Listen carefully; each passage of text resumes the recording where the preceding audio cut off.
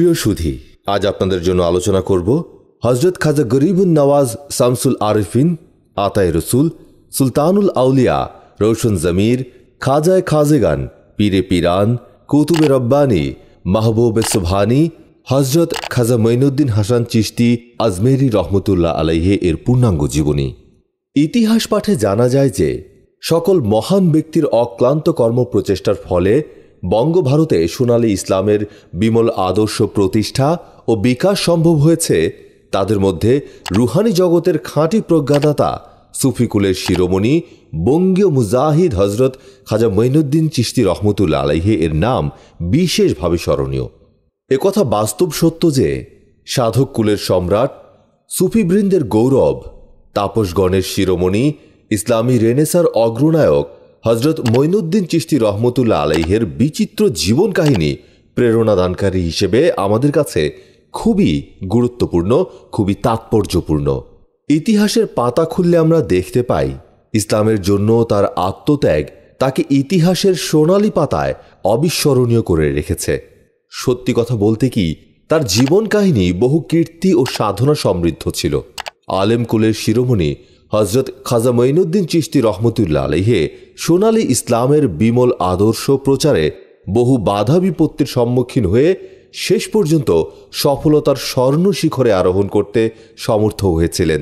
ঐতিহাসিকগণ বলেন, বঙ্গভারতে ইসলাম প্রচারে খাজা মঈনুদ্দিন চিস্তি রহমতুল্লা আলহে যে অবিস্মরণীয় অবদান রেখে গেছেন, তা ইতিহাসের পাতায় চিরকাল অম্লান হয়ে থাকবে। তাকে কেন্দ্র করে অনেক ইতিহাস রচিত হয়েছে। পরিশেষে, আমরা এইরূপ সিদ্ধান্তে উপনীত হই যে, সত্যের সৈনিক হজরত খাজা মঈনুদ্দিন চিস্তি রহমতুল আলহে এমন একজন আদর্শ মানুষ ছিলেন যে, পার্থিব ভোগবিলাসিতা দূরের কথা, কঠোর সাধনায় কেটেছে তার সারা জীবন।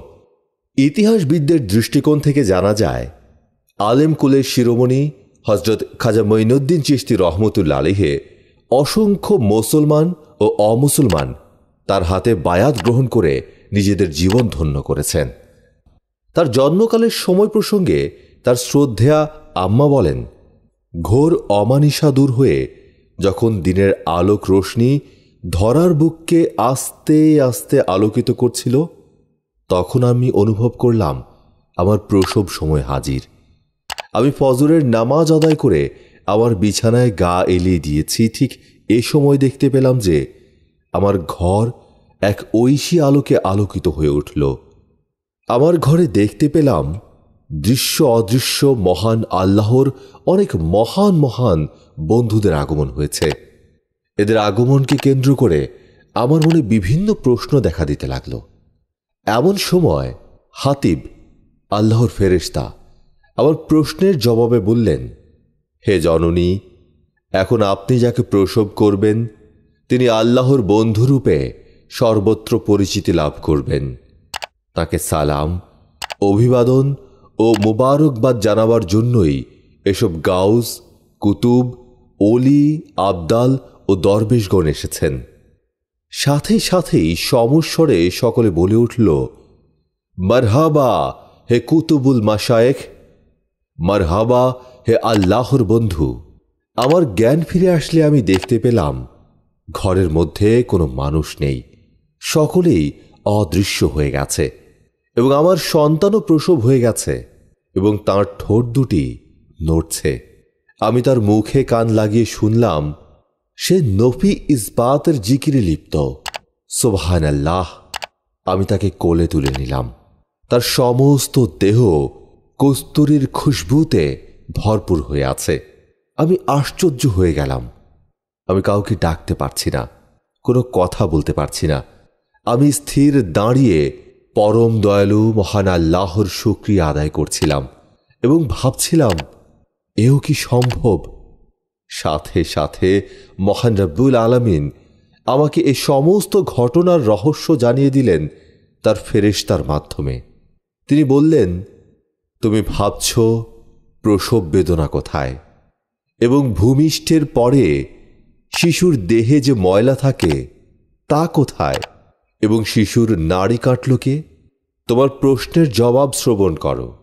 তুমি যখন অজ্ঞান ছিলে, তখন তোমাকে জান্নাতের হাউজে কাউসারের নিকট নিয়ে যাওয়া হয়।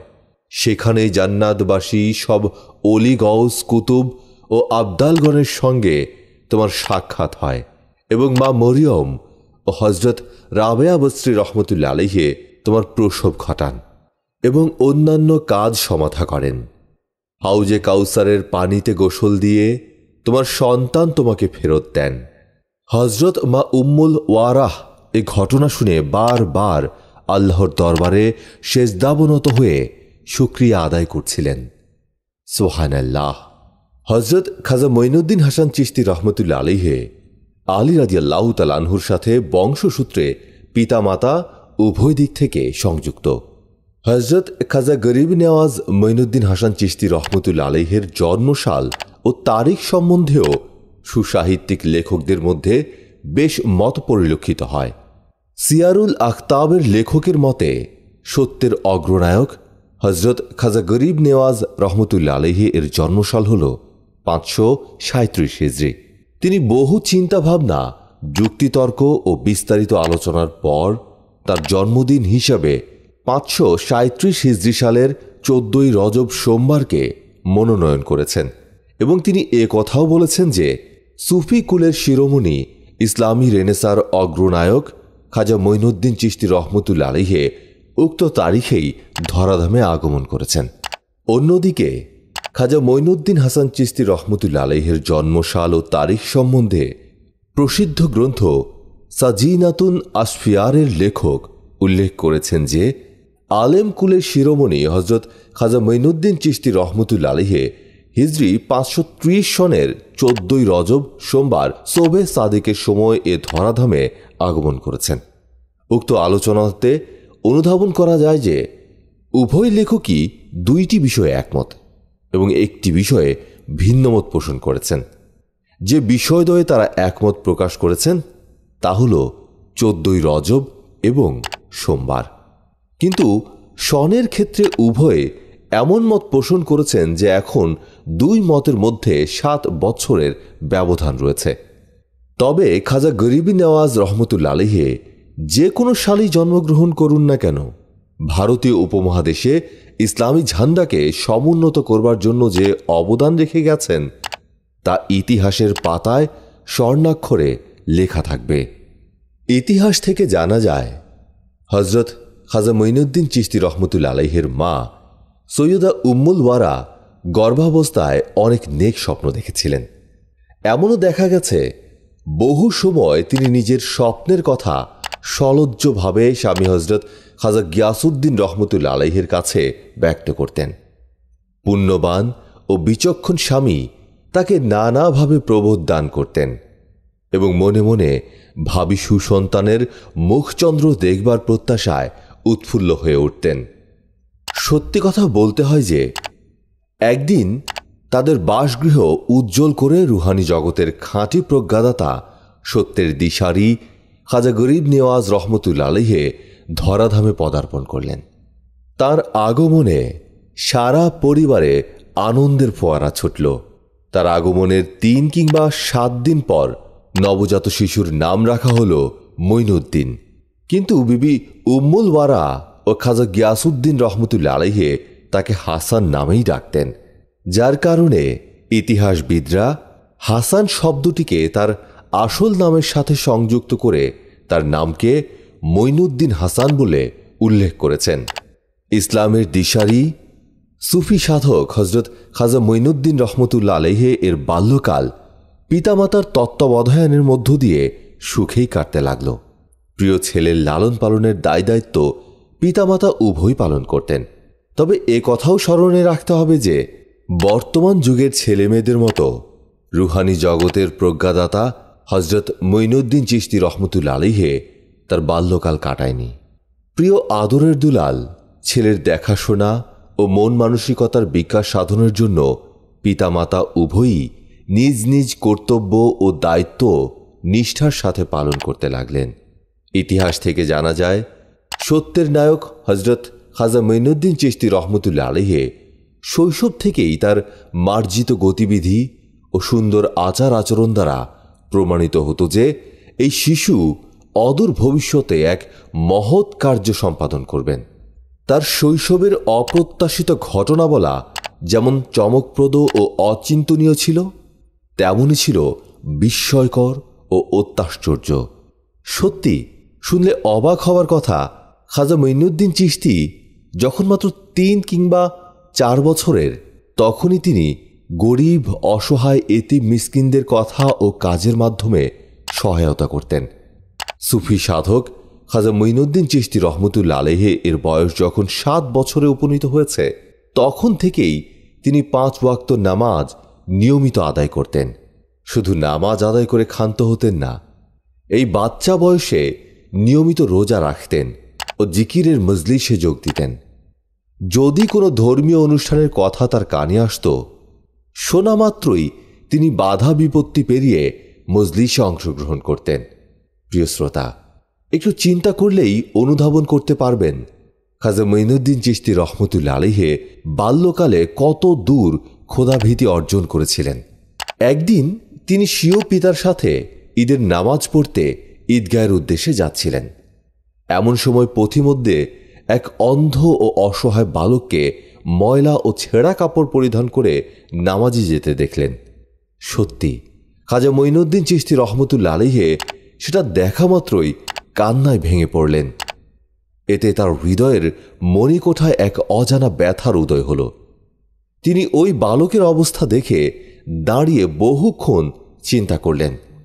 তারপর পিতার অনুমতি ও নির্দেশের অপেক্ষা না করে নিজের পরিধেয় নতুন বস্ত্র খুলে অন্ধ বালকটিকে পরিধান করালেন এবং কায়মনো বাক্যে মহান আল্লাহ তালার সুক্রিয়া আদায় করলেন এবং নিঃস্ব অবস্থায় ঈদের নামাজ আদায় করে বাড়ি ফিরলেন। রুহানি জগতের প্রজ্ঞাদাতা হজরত খাজা মঈনুদ্দিন চিস্তি রহমতুল্লা আলাইহের সমুদয় কার্যকলাপই তার বাবা হজরত খাজা গিয়াসুদ্দিন রহমতুল্লা আলাইহে অদূরে থেকে পর্যবেক্ষণ করলেন এবং মনে মনে বিশ্বনিয়ন্তা আল্লাহ রব্বুল আলমিনের শকর গুজার করলেন। উপসংহারে কথা বলা যেতেই পারে, সুফি সাধক আলেম কুলের শিরোমণি হজরত খাজা মঈনুদ্দিন চিস্তি রহমতুল্লা আলিহে ইসলামের ইতিহাসে তথা ইতিহাসের পাতায় চিরভাস্বর হয়ে থাকবেন। তা তার বাল্যকালের প্রতিভা চালচলন থেকেই প্রকাশ পেয়েছিল। ইতিহাস থেকে জানা যায় হজরত খাজা মঈনুদ্দিন চিস্তি রহমতুল্লা আলহে ছিলেন দুনিয়ার গাউসে আজম, কুতুবুল আক্তাব এবং সমগ্র জিন ও মানুষের পথ প্রদর্শক। তিনি যে বেলায়েতি গগনের দীপ্তিমান সূর্যস্বরূপ হবেন, তা তার বাল্যকালের প্রতিচ্ছবি থেকেই অনুধাবন করা যেত। ইসলামের ইতিহাস পর্যালোচনা করলে দেখা যায় তিনি মাতৃগর্ভ থেকে অলিরূপে ভূমিষ্ঠ হয়েছিলেন। একথা বাস্তব সত্য যে, শিশুকাল হতেই তিনি অকল্পনীয় কারামত এবং ঐশী ক্ষমতা সমূহের অধিকারী ছিলেন। এ কথাও শোনা যায়, কেবলমাত্র যখন সাত বছর বয়সে উপনীত হয়েছিলেন, ওই সময় তিনি অর্থসহ মহা ঐশী গ্রন্থ আল কোরআন হেফজ করেন। অল্পদিনের মধ্যেই তিনি ইলমে হাদিস ও ইলমে ফেকাহতে পাণ্ডিত্য অর্জন করেন। প্রিয় শ্রোতা, বাল্যকালের এসব নিদর্শন থেকেই প্রমাণ হয়েছিল যে তিনি ইসলামের একজন হাদি হবেন। যে ব্যক্তি এলমে দিন হাসিলের উদ্দেশ্যে বের হয়, সে ফিরে আসার পূর্ব পর্যন্ত আল্লাহর পথেই থাকে। আল হাদিস। খাজা মঈনুদ্দিন চিস্তি রহমতুল্লা আলাইহে সেই সময়ে দিন অর্জনের নিমিত্ত ঘরবাড়ি পরিত্যাগ করেছিলেন। প্রথমে তিনি সমরকন্দ গমন করলেন। সেই সময় সমরকন্দ ও বোখরা ইসলামী শিক্ষা কেন্দ্র হিসেবে বিখ্যাত ছিল। বড় বড় মহাদ্দেশ, ফকিহ, দার্শনিক ও চিন্তাশীল পণ্ডিতগণ সেখানে বাস করতেন। খাজা সাহেব প্রথমে কোরআন শরীফ হেফজ করলেন, অতপর তফসির, হাদিস, ফেকহ ওসুল মন্তেক ইত্যাদি বিষয় অধ্যয়ন করলেন। তখনকার দিনে সাধারণত মানুষের স্মৃতিশক্তি প্রখর ছিল। খাজা মঈনুদ্দিন চিস্তি রহমতুল্লা আলহে এর স্মৃতিশক্তি ছিল তার চাইতেও প্রখর। কোরআন শরীফ হেফজ করতে তার মাত্র কয়েকদিন সময় লেগেছিল। তফসির, হাদিস ইত্যাদি শিক্ষা করতেও তার খুব বেশি দিন লাগেনি। বিশেষত পেছনে তার কোনো আকর্ষণ ছিল না বলে একনিষ্ঠভাবে তিনি সাধনা করে গিয়েছিলেন এবং এর ফলেই শিক্ষাক্ষেত্রে মাত্র কয়েক বছরের মধ্যেই তিনি প্রচুর দক্ষতা অর্জন করতে সক্ষম হয়েছিলেন। জাহিরি বিদ্যায় পারদর্শিতা লাভ করেও তার তৃষ্ণাতুর মনের জ্ঞান পিপাসা নির্বিত হল না। আধ্যাত্ম জগতের বিশেষ জ্ঞান অর্জনের আকাঙ্ক্ষা তাকে স্বস্তির নিঃশ্বাস ফেলতে দিল না। তিনি বোখারা পরিত্যাগ করে আবার নিরুদ্দেশের পথে যাত্রা করলেন। সে সময় খোরাসানে ইব্রাহিম কলন্দর নামে এক সাধু পুরুষ বাস করতেন। তিনি আধ্যাত্মিক তত্ত্বে মহাপণ্ডিত ও কামেল অলি ছিলেন। পাশের দেশের লোক তার সরব বুঝতে পেরে তাকে ভক্তি শ্রদ্ধা করে। এই আশঙ্কায় তিনি ছদ্মবেশে ভ্রমণ করতেন ও অতি সাবধানে জীবনযাপন করতেন। একদিন ইব্রাহিম কলন্দর ভ্রমণ করতে করতে খাজা মঈনুদ্দিন চিস্তি রহমতুল্লা আলহের কাছে এসে বিশ্রাম করতে লাগলেন। খাজা মঈনুদ্দিন চিস্তি রহমতুল্লা আলহে তখন বাগানে কাজ করছিলেন। তিনি দরবেশকে দেখতে পেয়ে দ্রুত তার কাছে এসে কদমবুচি করলেন এবং ভক্তির সাথে তাকে বসতে আসন দিয়ে বাগান থেকে কয়েকটি ফল এনে দরবেশকে খেতে দিলেন। দরবেশ ফলগুলো খেয়ে অত্যন্ত সন্তুষ্ট হলেন। তিনি কিছুক্ষণ এক দৃষ্টে খাজা মঈনুদ্দিন চিস্তির মুখের দিকে তাকিয়ে কি যেন লক্ষ্য করলেন। এরপর নিজের ঝোলা থেকে একটি ফল বের করে খেতে আদেশ করলেন। খাজা মঈনুদ্দিন চিস্তি রহমতুল আলেহে বিনা দ্বিধায় ভক্তির সাথে ফলটা খেয়ে ফেললেন। ইব্রাহিম কলন্দর তখনই বিদায় নিলেন। দরবেশের দেওয়া ফলটা খাওয়ার পরেই খাজা মঈনুদ্দিন চিস্তির মনে এক অপূর্ব ভাবের সঞ্চার হল। সংসারের প্রতি তার একটা অভক্তি এসে গেল। তিনি কেমন যেন উদাস হয়ে গেলেন। আহারে রুচি নেই। চোখে ঘুম নেই, কাজকর্মে কোনো আগ্রহ নেই, সর্বদা বসে কি যেন চিন্তা করতে লাগলেন। অবশেষে নিজের জীবনযাপনের একমাত্র সম্বল বাগানটি বিক্রি করে সে টাকা সম্পূর্ণ আল্লাহর রাস্তায় দান করে শুধু আল্লাহর নাম সম্বল করে রাস্তায় বেরিয়ে পড়লেন। কয়েকদিন ঘোরাফেরা করার পর শিক্ষার উদ্দেশ্যে তিনি বোখারা নগরে উপস্থিত হলেন। আল্লাহর অপূর্ব মহিমা। তিনি যাকে আপন পথে টেনে নিতে ইচ্ছা করেন, এভাবেই পথ প্রদর্শন করে থাকেন। সে সময় বোখারায় হজরত হিসাম উদ্দিন বোখারি নামে এক অতি নামকরা আলেম ছিলেন। খাজা মঈনুদ্দিন চিস্তি তার কাছে একাধিক্রমে সাত বছর অবস্থান করে কোরআন, হাদিস, ফিকাহ প্রভৃতি বিদ্যায় অগাধ জ্ঞান অর্জন করলেন। হজরত হিসামুদ্দিন বোখারি নিজেই বলেছেন আমি মঈনুদ্দিনকে সাত বছরে যা শেখালাম, বিশ বছরেও আমি তা কাউকে শিক্ষা দিতে পারিনি। খাজা মঈনুদ্দিন চিস্তি রহমতুল্লা আলিহে কোরআন হাদিসে অগাধ জ্ঞান লাভের পর তাসাউফ তত্ত্বে জ্ঞান অর্জনের জন্য ব্যাকুল হয়ে উঠলেন। এরপর তার ওস্তাদ হজরত হিসাম উদ্দিন বোখারের উপদেশ মতো তিনি খাজা ওসমান হারুনের কাছে মুরিদ হতে গেলেন। হারুন নিশাপুরের নিকটবর্তী একটি ক্ষুদ্র শহর। এখানে ওসমান হারুনি নামক মারিফাতের এক মহাসাধক বাস করতেন। তিনি ছিলেন হাজি শাহ শরীফ জিন্দানি রহমতুল্লা আলহের মুরিদ ও প্রধান খলিফা। তিনি বিভিন্ন দেশের অসংখ্য কামেল অলির সাথে সাক্ষাতের উদ্দেশ্যে প্রায় সারা জীবনই বিভিন্ন দেশ সফর করেছিলেন এবং অগণিত কামেল, অলি ও সুফি দরবেশদের সঙ্গ লাভ করে মারিফতের বিদ্যায় গভীর জ্ঞান লাভ করেছিলেন। শরীয়তে তার যেমন গভীর জ্ঞান ছিল, মারেফাতেও ছিলেন তিনি তেমনি উচ্চ স্তরের বুজুর্গ ও কামেল পীর। সে সময় খাজা ওসমান হারুনির অসংখ্য অলৌকিক কারামতের কথা দেশের সর্বত্র ছড়িয়ে পড়েছিল এবং দেশ বিদেশ থেকে অগণিত লোক এসে তার কাছে মারিফাত তত্ত্বে দীক্ষা গ্রহণ করেছিলেন। খাজা মঈনুদ্দিন চিস্তি রহমতুল্লা আলিহে খাজা ওসমান হারুনের সাথে সাক্ষাৎ করলেন। তার প্রতি প্রথম দৃষ্টিপাতেই শ্রদ্ধায় হজরত খাজা মঈনুদ্দিন চিস্তির হৃদয় বিগলিত হয়ে গেল। তিনি খাজা ওসমান হারুনিকে কদমবুচি করলেন। এরপর খাজা মঈনুদ্দিন চিস্তি সাহেবের দিকে এক দৃষ্টে অনেকক্ষণ পর্যন্ত তাকিয়ে রইলেন খাজা ওসমান হারুনি এবং তার পরিচয় জিজ্ঞেস করলেন। খাজা মঈনুদ্দিন চিস্তি রহমতুল্লা আলিহে সংক্ষেপে নিজের পরিচয় প্রদানপূর্বক তার কাছে মুরিদ হওয়ার বাসনা জ্ঞাপন করলেন। খাজা ওসমান হারুনি রহমতুল্লা আলিহে প্রথম দৃষ্টিতে বুঝতে পেরেছিলেন তিনি এতদিনে একজন যোগ্য সাগরেদের সাক্ষাৎ পেলেন। তাই তিনি আগ্রহের সাথে তাকে সেখানে অবস্থান করতে অনুমতি প্রদান করলেন। হিজড়ি পাঁচশো ষাট সালের এগারোই শাওয়াল বুধবার জোহরের নামাজ শেষে তিনি খাজা ওসমান হারুনের কাছে মুরিদ হলেন। খাজা বৈনুদ্দিন চিস্তি রহমতুল আলাইহে তার মুরিদ হওয়ার ঘটনা নিজেই বর্ণনা করেছেন এভাবে, আমি আমার পীর খাজা ওসমান হারুনি রহমতুল আলাইহের সাথে সাক্ষাৎ করতে গিয়ে দেখতে পেলাম, অসংখ্য বড় বড় আউলিয়া দরবেশ পরিবেষ্টিত হয়ে তিনি মারেফাত তত্ত্ব সম্বন্ধে আলাপ আলোচনা করছেন। আমি তার কদমবুচি করার পর তিনি কিছুক্ষণ আমার দিকে এক দৃষ্টে তাকিয়ে রইলেন এবং আমার পরিচয় জিজ্ঞেস করলেন। আমি সংক্ষেপে আমার পরিচয় প্রদানপূর্বক তার কাছে মুরিদ হওয়ার বাসনা প্রকাশ করলে তিনি আমাকে মসজিদে গিয়ে জোহরের নামাজ পড়ে সেখানেই বসে থাকতে আদেশ করলেন। আমি অজু করে মসজিদে গিয়ে জোহরের নামাজ পড়ে সেখানেই বসে রইলাম। কিছুক্ষণ পর তিনি সেখানে উপস্থিত হয়ে আমাকে বললেন, দুরাকাত নফল নামাজ পড়ো। আমি দুরাকাত নফল নামাজ পড়লাম।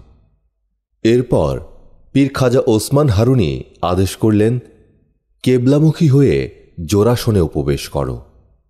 আমি তার সে আদেশ পালন করলাম।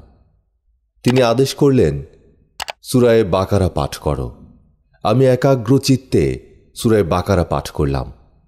তিনি আদেশ করলেন ষাটবার সুহান আল্লাহি ওয়া বিহামদিহি পাঠ করো। আমি তার এ আদেশও পালন করলাম। এরপর তিনি আমার ডান হাত, তার ডান হাতের মধ্যে নিয়ে উঠে দাঁড়িয়ে আসমানের দিকে নজর করে বললেন আজ আমি তোমাকে আল্লাহর দরবারে হাজির করে দিলাম।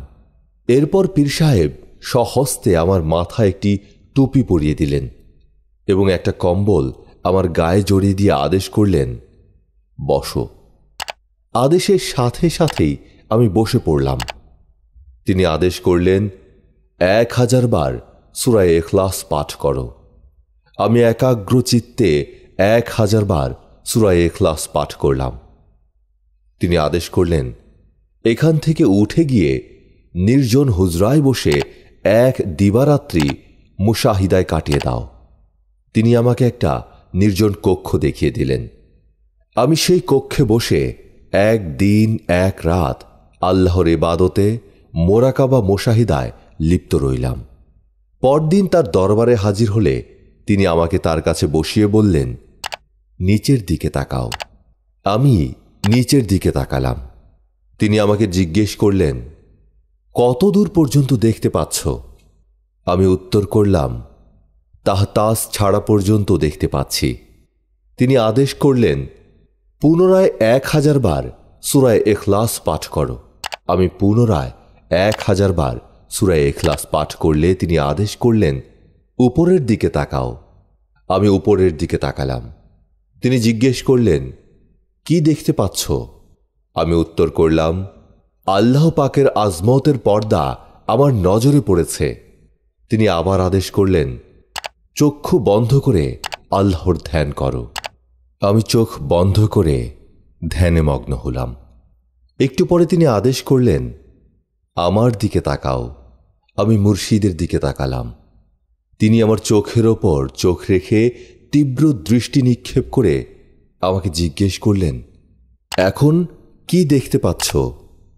আমি উত্তর করলাম, আল্লাহ পাকের আঠারো হাজার আলম আমার চোখের সামনে ভেসে উঠেছে। এবার তিনি খুশি হয়ে বললেন, তোমার কাজ শেষ হয়েছে। এরপর তিনি কাছের একখানা ইট দেখিয়ে আমাকে আদেশ করলেন, ওইটা উঠাও। আমি ইট উঠিয়ে ইটের নিচে কতগুলো স্বর্ণমোহর দেখতে পেলাম। তিনি আদেশ করলেন, এগুলো নিয়ে গিয়ে সুফি দরবেশদের মধ্যে বিতরণ করে দাও। আমি মুর্শিদের আদেশ অনুযায়ী মোহরগুলো নিয়ে সুফি দরবেশদের মধ্যে বিতরণ করে দিলাম। খাজা মঈনুদ্দিন চিস্তি রহমতুল আলাইহে খাজা ওসমান হারুনের কাছে মরিদ হওয়ার পর পীর সাহেবের খেদমতেই রয়ে গেলেন। বছরের পর বছর তিনি কঠোর সাধনা ও পীরের খেদমত করে আধ্যাত্মিক তত্ত্বে গভীর জ্ঞান অর্জন করলেন। মুরিদ হওয়ার আড়াই বছর পরেই খাজা ওসমান হারুনি রহমতুল্লা আলহে তাকে খিলাফত দান করেন। খাজা মঈনুদ্দিন চিস্তি রহমতুল্লা আলহে খেলাফত পাওয়ার পর আরও আঠারো বছর পীরের খেদমতে নিয়োজিত থাকেন। এভাবে মোট ২০ বছর ছয় মাস পীরের খেদমত করার পর তার পীর খাজা ওসমান হারুনির নির্দেশে সেখান থেকে বিদায় নেন।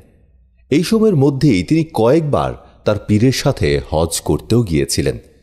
প্রতিবার সফরকালে তিনি পীরের বেছানা ও আসবাবপত্র নিজের কাঁধে বহন করে নিয়ে যেতেন।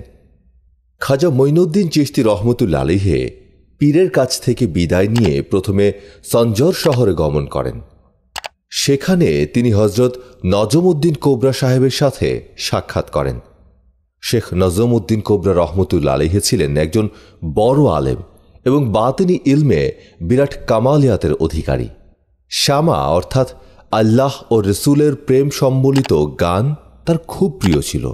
আল্লাহর প্রেমে বিভোর হয়ে থাকতেই তিনি অধিক পছন্দ করতেন।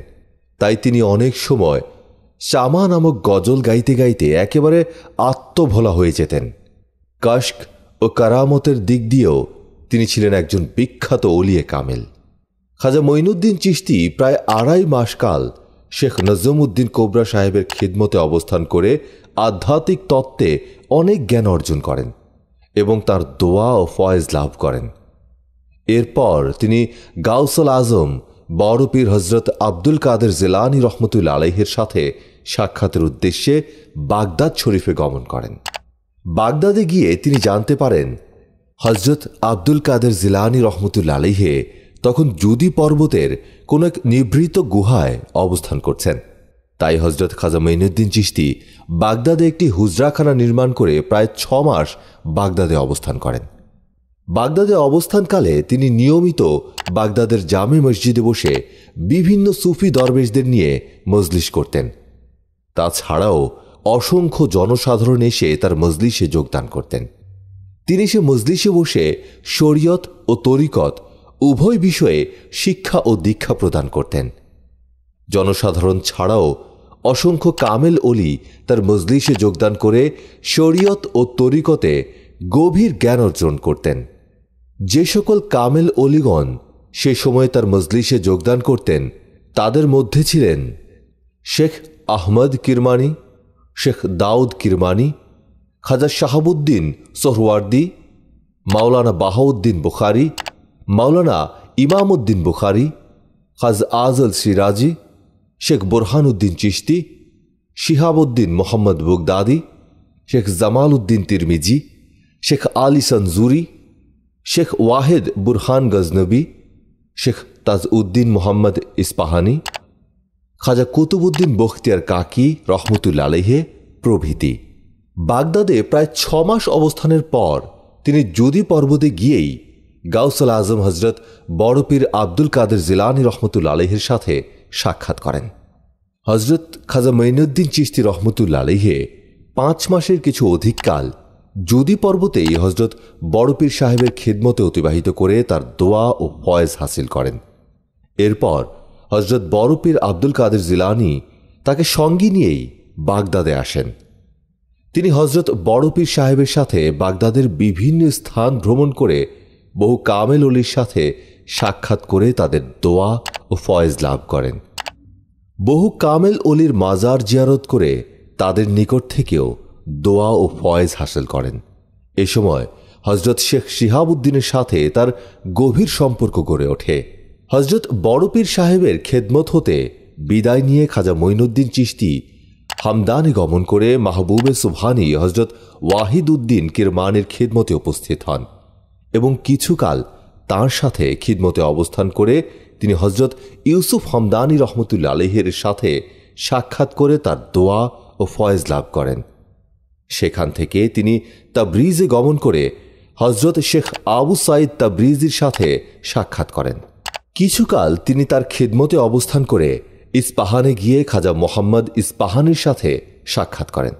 সেখান থেকে তিনি মৈনিদে গমন করে হজরত শেখ আবু সাইদ মৈনিদ রহমতুল্লা আলহের খেদমতে অবস্থান করার পর তিনি ইস্তারাবাদে গিয়ে খাজা বাইজিদ বুস্তামি রহমতুল্লা আলহের সুযোগ্য বংশধর খাজা নাসির উদ্দিনের খেদমতে হাজির হন। সেখানে কয়েকদিন অবস্থান করে তিনি গজনিতে গিয়ে সামসুল আরিফিন হজরত আব্দুল ওয়াহিদ গজনভি ও অন্যান্য বহু অলিয়ে কামিলের সাথে সাক্ষাৎ করে তাঁদের ফয়েজ লাভ করেন। মারেফত বিদ্যায় দীক্ষা গ্রহণের প্রধান চারটি তরিকা বা নিয়ম আছে।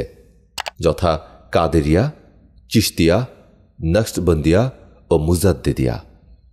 বড় পীর হজরত আব্দুল কাদের জিলানি রহমতুল্লা আলহের প্রবর্তিত তরিকার নাম কাদেরিয়া তরিকা। খাজা মঈনুদ্দিন চিস্তি রহমতুল আলহের তরিকার নাম চিস্তিয়া তরিকা। হজরত সৈয়দ বাহাউদ্দিন নকশবন্দ বুখারি রহমতুল আলহের প্রবর্তিত তরিকার নাম নকশবন্দিয়া তরিকা এবং হজরত আহমদ ফারুকি মুজাদ্দিদ আলফেসানি রহমতুল আলহের প্রবর্তিত তরিকার নাম মুজাদ্দিদিয়া তরিকা। খাজা মঈনুদ্দিন চিস্তি রহমতুল আলহের বাসস্থান ছিল চিস্তি শহর, তাই তাকে বলা হতো চিস্তি সেই জন্যে তার প্রবর্তিত তরিকার নাম চিস্তিয়া তরিকা। অবশ্য তার পূর্বে ওই দেশে আরও কতিপয় বুজুর্গ অলিয়ে কামেল জন্মলাভ করেছিলেন। তাদেরও নামের শেষে চিস্তি শব্দ ব্যবহার করা হতো। কিন্তু তারা কেউই চিস্তিয়া তরিকার প্রবর্তক বা অনুসারী ছিলেন না। যথা খাজা আবু আহমেদ চিস্তি রহমতুল্লা আলহে খাজা নাসির উদ্দিন চিস্তি রহমতুল্লা আলহে খাজা আবু ইউসুফ চিস্তি রহমতুল্লা আলহে এবং খাজা কুতুবুদ্দিন মাদুদ চিস্তি রহমতুল্লা আলহে এরা সবাই অত্যন্ত বুজুর্গ ও কামেল অলি ছিলেন। অথচ চিস্তিয়া তরিকার প্রবর্তক বা অনুসারী ছিলেন না। চিস্তি শহরের অধিবাসী ছিলেন বলেই এদের নামের শেষে চিস্তি শব্দ ব্যবহার করা হতো। উক্ত চারজন বুজুর্গ পীরের মাজার চিস্তি শহরে অদ্যাবধি বিদ্যমান রয়েছে। চিস্তি শব্দটির প্রকৃত অর্থ বুঝতে না পারায় অনেকেরই মনে একটা সন্দেহ বা খটকার উদ্রেক হয়। আর এজন্যেই আমাদের এত কথা বলতে হলো।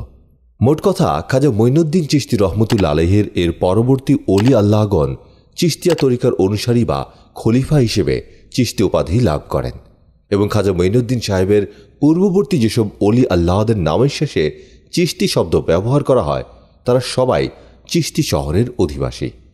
খাজা মঈনুদ্দিন চিস্তি রহমতুল্লা আলহের সিলসিলার পীরগণ হচ্ছেন খাজা ওসমান হারুনি রহমতুল্লা আলহে খাজা শাহ শরীফ জিন্দানি রহমতুল্লা আলহে খাজা মওদুদ চিস্তি রহমতুল্লা আলহে খাজা নাসির উদ্দিন রহমতুল্লা আলহে খাজা আবু মোহাম্মদ চিস্তি রহমতুল্লা আলহে খাজা আবু ইসহাক শরফুদ্দিন রহমতুল্লা আলহে খাজা মুমশাদ উলুবি দিনওয়ারি রহমতুল্লা আলহে খাজা হুম বাইরাতুল বুশ্রি রহমতুল্লা আলহে হজরত সৈয়দ বদরুদ্দিন রহমতুল্লা আলহে খাজা ইব্রাহিম ইবনে আদহাম বলখি রহমতুল্লা আলহে খাজা ফুজাইল ইবনে ইয়াজ রহমতুল্লা আলহে খাজা আব্দুল ওয়াহাব বিন জায়েদ রহমতুল্লা আলহে হজরত হাসান বসরি রহমতুল্লা আলহে খাজা মঈনুদ্দিন চিস্তি রহমতুল্লা আলহে দীর্ঘকাল যাবৎ নানা দেশে ভ্রমণের পর আবার তার পীর সাহেবের সাথে সাক্ষাৎ করার জন্য ব্যাকুল হয়ে উঠলেন। সেজন্যে তিনি পুনরায় হারুন শহরের দিকে রওনা হলেন। এদিকে তার পীর খাজা ওসমান হারুনি রহমতুল্লা আলহেও তার প্রিয় শিষ্য খাজা মঈনুদ্দিনের সাথে সাক্ষাতের জন্য ব্যাকুল হয়ে মুরিদের সন্ধানে বেরিয়ে পড়লেন। পীর সাহেব কোথায় আছেন তা জানা ছিল না মুরিদের ঠিক তেমনি মুরিদ কোথায় আছেন সেটাও জানা ছিল না পীর সাহেবের। কাজেই অনির্দিষ্টভাবেই উভয়ে উভয়ের সন্ধানে নানা স্থান ভ্রমণ করতে লাগলেন। খাজা ওসমান হারুনি রহমতুল আলহে তার খাদেম ফখরুদ্দিনকে সঙ্গে নিয়ে তার প্রিয় মুরিদ ও খলিফা খাজা মঈনুদ্দিনের সন্ধানে বের হয়ে নানা স্থানে ভ্রমণের পর পারস্যের একটি স্থানে এসে পৌঁছলেন। সারা দিন পথশ্রমে ক্লান্ত হয়ে তিনি একটি বাগানের ধারে তাঁবু খাটিয়ে সেখানেই রাত্রি যাপনের ইচ্ছা করলেন। তিনি তার খাদেমকে বললেন, বাবা ফখরুদ্দিন, তুমি স্থানীয় লোকালয় থেকে একটু আগুন নিয়ে এসো। আমরা কিছু রুটি তৈরি করে খেয়ে নেই এবং খেয়ে দিয়ে এখানে বিশ্রাম করব। ফখরুদ্দিন আগুনের জন্য চলে গেল। সে কিছু দূর যাওয়ার পর দেখতে পেল যে এক স্থানে বিরাট একটি আগুন কুণ্ডে দাও দাও করে আগুন জ্বলছে এবং অনেকগুলো লোক তার চতুর্দিকে ঘুরে ঘুরে নৃত্য করছে, মন্ত্র পাঠ করছে ও মাঝে মাঝে মস্তক অবনত করে সেই আগুন কুণ্ডকে প্রণাম করছে। কেউ বা আগুনকুণ্ড সামনে রেখে একেবারে সেজদায় পড়ে কি সব তন্ত্র মন্ত্র পাঠ করছে। ফখরুদ্দিন তাদের কাণ্ড কারখানা দেখে একেবারে অবাক হয়ে গেল। কারণ সে ইতিপূর্বে আর কখনো অগ্নিপূজা দেখেনি। সে কিছুক্ষণ অবাক হয়ে তাদের কার্যকলাপ দর্শন করল। এরপর তাদের কাছে এসে বলল, আমাকে একটু আগুন দাও, রুটি তৈরি করব। লোকগুলো তার কথায় ক্ষিপ্ত হয়ে বলল, তুমি কোথাকার বেউকুফ হে? তুমি কি জানো না যে এটা সাধারণ আগুন নয়? এটা আমাদের উপাস্য দেবতা, আর একশত বছরের অধিককাল যাবৎ প্রত্যেক দিন হাজার মন কাঠ নিক্ষেপ করে দিবা রাত্রির জন্যে এটাকে আমরা প্রজ্বলিত রেখেছি? এ কি আর সাধারণ আগুন যে তোমাকে দেব? ভাগো এখান থেকে। ফখরুদ্দিন পীর সাহেবের কাছে এসে সব কথা খুলে বললেন। খাজা ওসমান হারুনি রহমতুল আলাইহে তখনই রওনা হয়ে গেলেন সেই আগুন পূজারীদের কাছে। তিনি তাদের দলপতিকে ডেকে বললেন, তোমরা সর্বশক্তিমান আল্লাহর এবাদত ত্যাগ করে, কেন অগ্নিপূজা করে মূর্খতার পরিচয় দিচ্ছ। দলপতি উত্তর করল, আগুনই আমাদের দেবতা, আগুনই আমাদের খোদা। আমাদের ধর্মগ্রন্থে উল্লেখ আছে, আগুনের পূজা করে আগুনকে সন্তুষ্ট করতে পারলে দুনিয়াতে তার কোনো আশাই অপূর্ণ থাকবে না এবং পরকালে নরকের আগুন থেকে রক্ষা পাবে। খাজা ওসমান হারুনি রহমতুল আলাইহে হেসে বললেন, এটা তোমাদেরই ভুল। কেউ হাজার বছর ধরে অগ্নিপূজা করলেও আগুন তাকে কিছুমাত্র খাতির করবে না। সে দোজখের আগুন থেকে কিছুতেই নিস্তার পাবে না। কারও কোনো মঙ্গল করার ক্ষমতাও তোমাদের দেবতার নেই। শুধুমাত্র এক নিরাকার সর্বশক্তিমান আল্লাহর এবাদত দ্বারাই দোজখের আগুন থেকে রক্ষা পাওয়া যেতে পারে। আর দুনিয়ার কোনো আশা পূর্ণ করা বা কারও ভালো মন্দ করার অধিকারও শুধু একমাত্র আল্লাহরই আছে। তোমাদের এই অগ্নিপূজা সম্পূর্ণ নিরর্থক।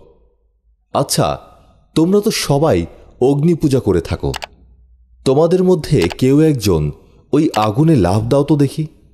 যদি আগুন তোমাদেরকে খাতির করে, অর্থাৎ তোমাদের হাত না পুড়ে, তবে বিশ্বাস করবে, দোজখের আগুনও তোমাদেরকে খাতির করতে পারে। আর যে আগুনকে তোমরা পূজা করছ, সেই আগুন যদি তোমাদেরকে খাতির না করে, তবে তো দোজখের আগুন খাতির করবেই না। দলপতি উত্তর করল, তা কি আর সম্ভব? আগুনে হাত দিলে হাত পুড়বেই। তবে আমাদের ধর্মগ্রন্থে লিখিত আছে, আগুন পূজা করে আগুন দেবকে সন্তুষ্ট করতে পারলে সে নরকের আগুন থেকে রক্ষা পাবে। খাজা ওসমান হারুনি রহমতুল্লা আলাইহে বললেন, দেখো, তোমরা সবাই অগ্নি পূজা করো, স্তব স্তুতি করে তাকে ভক্তি করো, সেজদা করো, অথচ তোমরা একখানা হাত আগুনে প্রবেশ করাতে সাহস পাচ্ছ না। আর আমি আগুনের পূজা করি না। নিরাকার এক আল্লাহর উপাসনা করে থাকি। এতদ সত্ত্বেও যদি আগুন আমাকে খাতির করে, তবুও তোমরা স্বীকার করবে না, এক নিরাকার আল্লাহই সর্বশক্তিমান। তিনি যাকে ইচ্ছা করেন, তাকেই দোজক থেকে রক্ষা করবেন। দলপতি উত্তর করল আচ্ছা বেশ। দেখি, আগুন তোমাকে কিরূপ খাতির করে? তারপরে আমরা বিবেচনা করে দেখব, আমাদের আগুন দেবতাই বড় না তোমার এক নিরাকার আল্লাহই বড়। খাজা ওসমান হারুনি রহমতুল্লা আলাইহে আর কোনো কথা না বলে আগুন পূজারীদের একটি অল্প বয়স্ক বালকের হাত ধরে টান দিয়ে নিয়ে বিসমিল্লাহ রহমান রাহিম বলে সেই ভীষণ আগুন কুণ্ডের মধ্যে লাফিয়ে পড়লেন। আগুন পূজারীগণ বক্ষে করাঘাত করতে করতে বলতে লাগল, হায় হায় মুসলমানটি অকারণ জেদের বসে নিজেও পুড়ে মরল আর আমাদের ছেলেটিকেও পুড়িয়ে মারল। এই ভীষণ আগুন থেকে কি আর কারও রক্ষা পাওয়ার কোনো উপায় আছে? খাজা ওসমান হারুনি রহমতুল্লা সুদীর্ঘ চার ঘণ্টা পরে আগুন পূজারীদের বালক পুত্রটি সহ সম্পূর্ণ অক্ষত দেহে আগুন কুণ্ড থেকে বের হয়ে এলেন। আগুন পূজারীরা বিস্ময় বিস্ফোরিত চোখে তাকিয়ে দেখল, তাদের পুত্রটি ও মুসলমান ফকিরটির পরনের জামা কাপড় সহ সম্পূর্ণ অক্ষত রয়েছে। এমনকি তাদের একটি লোম পর্যন্ত দগ্ধ হয়নি। খাজা ওসমান হারুনি রহমতুল্লা আলাইহের এই অলৌকিক কারামত দেখে সেই দিন চার শতাধিক অগ্নিপূজারী তাদের অগ্নিপূজা ত্যাগ করে খাজা ওসমান হারুনি রহমতুল্লা আলাইহের থেকে কালেমা পড়ে ইসলাম ধর্ম গ্রহণ করলেন। খাজা উসমান হারুনি রহমতুল্লা আলহে প্রায় মাসাধিককাল সেখানে অবস্থান করে তাদেরকে ইসলাম ধর্মের যাবতীয় বিধি শিক্ষা দিয়ে পুনরায় তার প্রিয় শিষ্য খাজা মঈনুদ্দিনের সন্ধানে বের হলেন। এ সময়ের মধ্যে তিনি বিভিন্ন স্থানে অগণিত অমুসলমানকে মুসলমান করেন এবং অসংখ্য মুসলমানকে মারেফাতে দীক্ষিত করেন। খাজা মঈনুদ্দিন চিস্তি রহমতুল্লা আলহে আপন পীরের দর্শন লাভের আশায় যখন নানা দেশে ভ্রমণ করছিলেন, তখন তিনিও বিভিন্ন দেশের অসংখ্য কাফের ও মুশরিকদেরকে সত্য ধর্মে দীক্ষিত করছিলেন এবং বহু মুসলমানকে মারিফাতের বিদ্যায় দীক্ষা প্রদান করেন। এ সময় তিনি অধিকাংশ সময় গোরস্থানে অবস্থান করতেন এবং পারতপক্ষে কোনোরূপ কারামত প্রদর্শন করতেন না। কোথাও তার বেশি প্রশংসামূলক কিছু শুনতে পেলে বা অধিক ভক্তি শ্রদ্ধামূলক কিছু দেখতে পেলে তিনি সেই স্থান ত্যাগ করে অন্যত্র চলে যেতেন। এ সময় তিনি এমন কঠোর সাধনায় লিপ্ত হন যে, এশার নামাজের জন্যে তিনি যে অজু করতেন, সেই অজুতেই ফজরের নামাজ আদায় করতেন। অর্থাৎ সারা রাতই তিনি আল্লাহর এবাদতে কাটিয়ে দিতেন।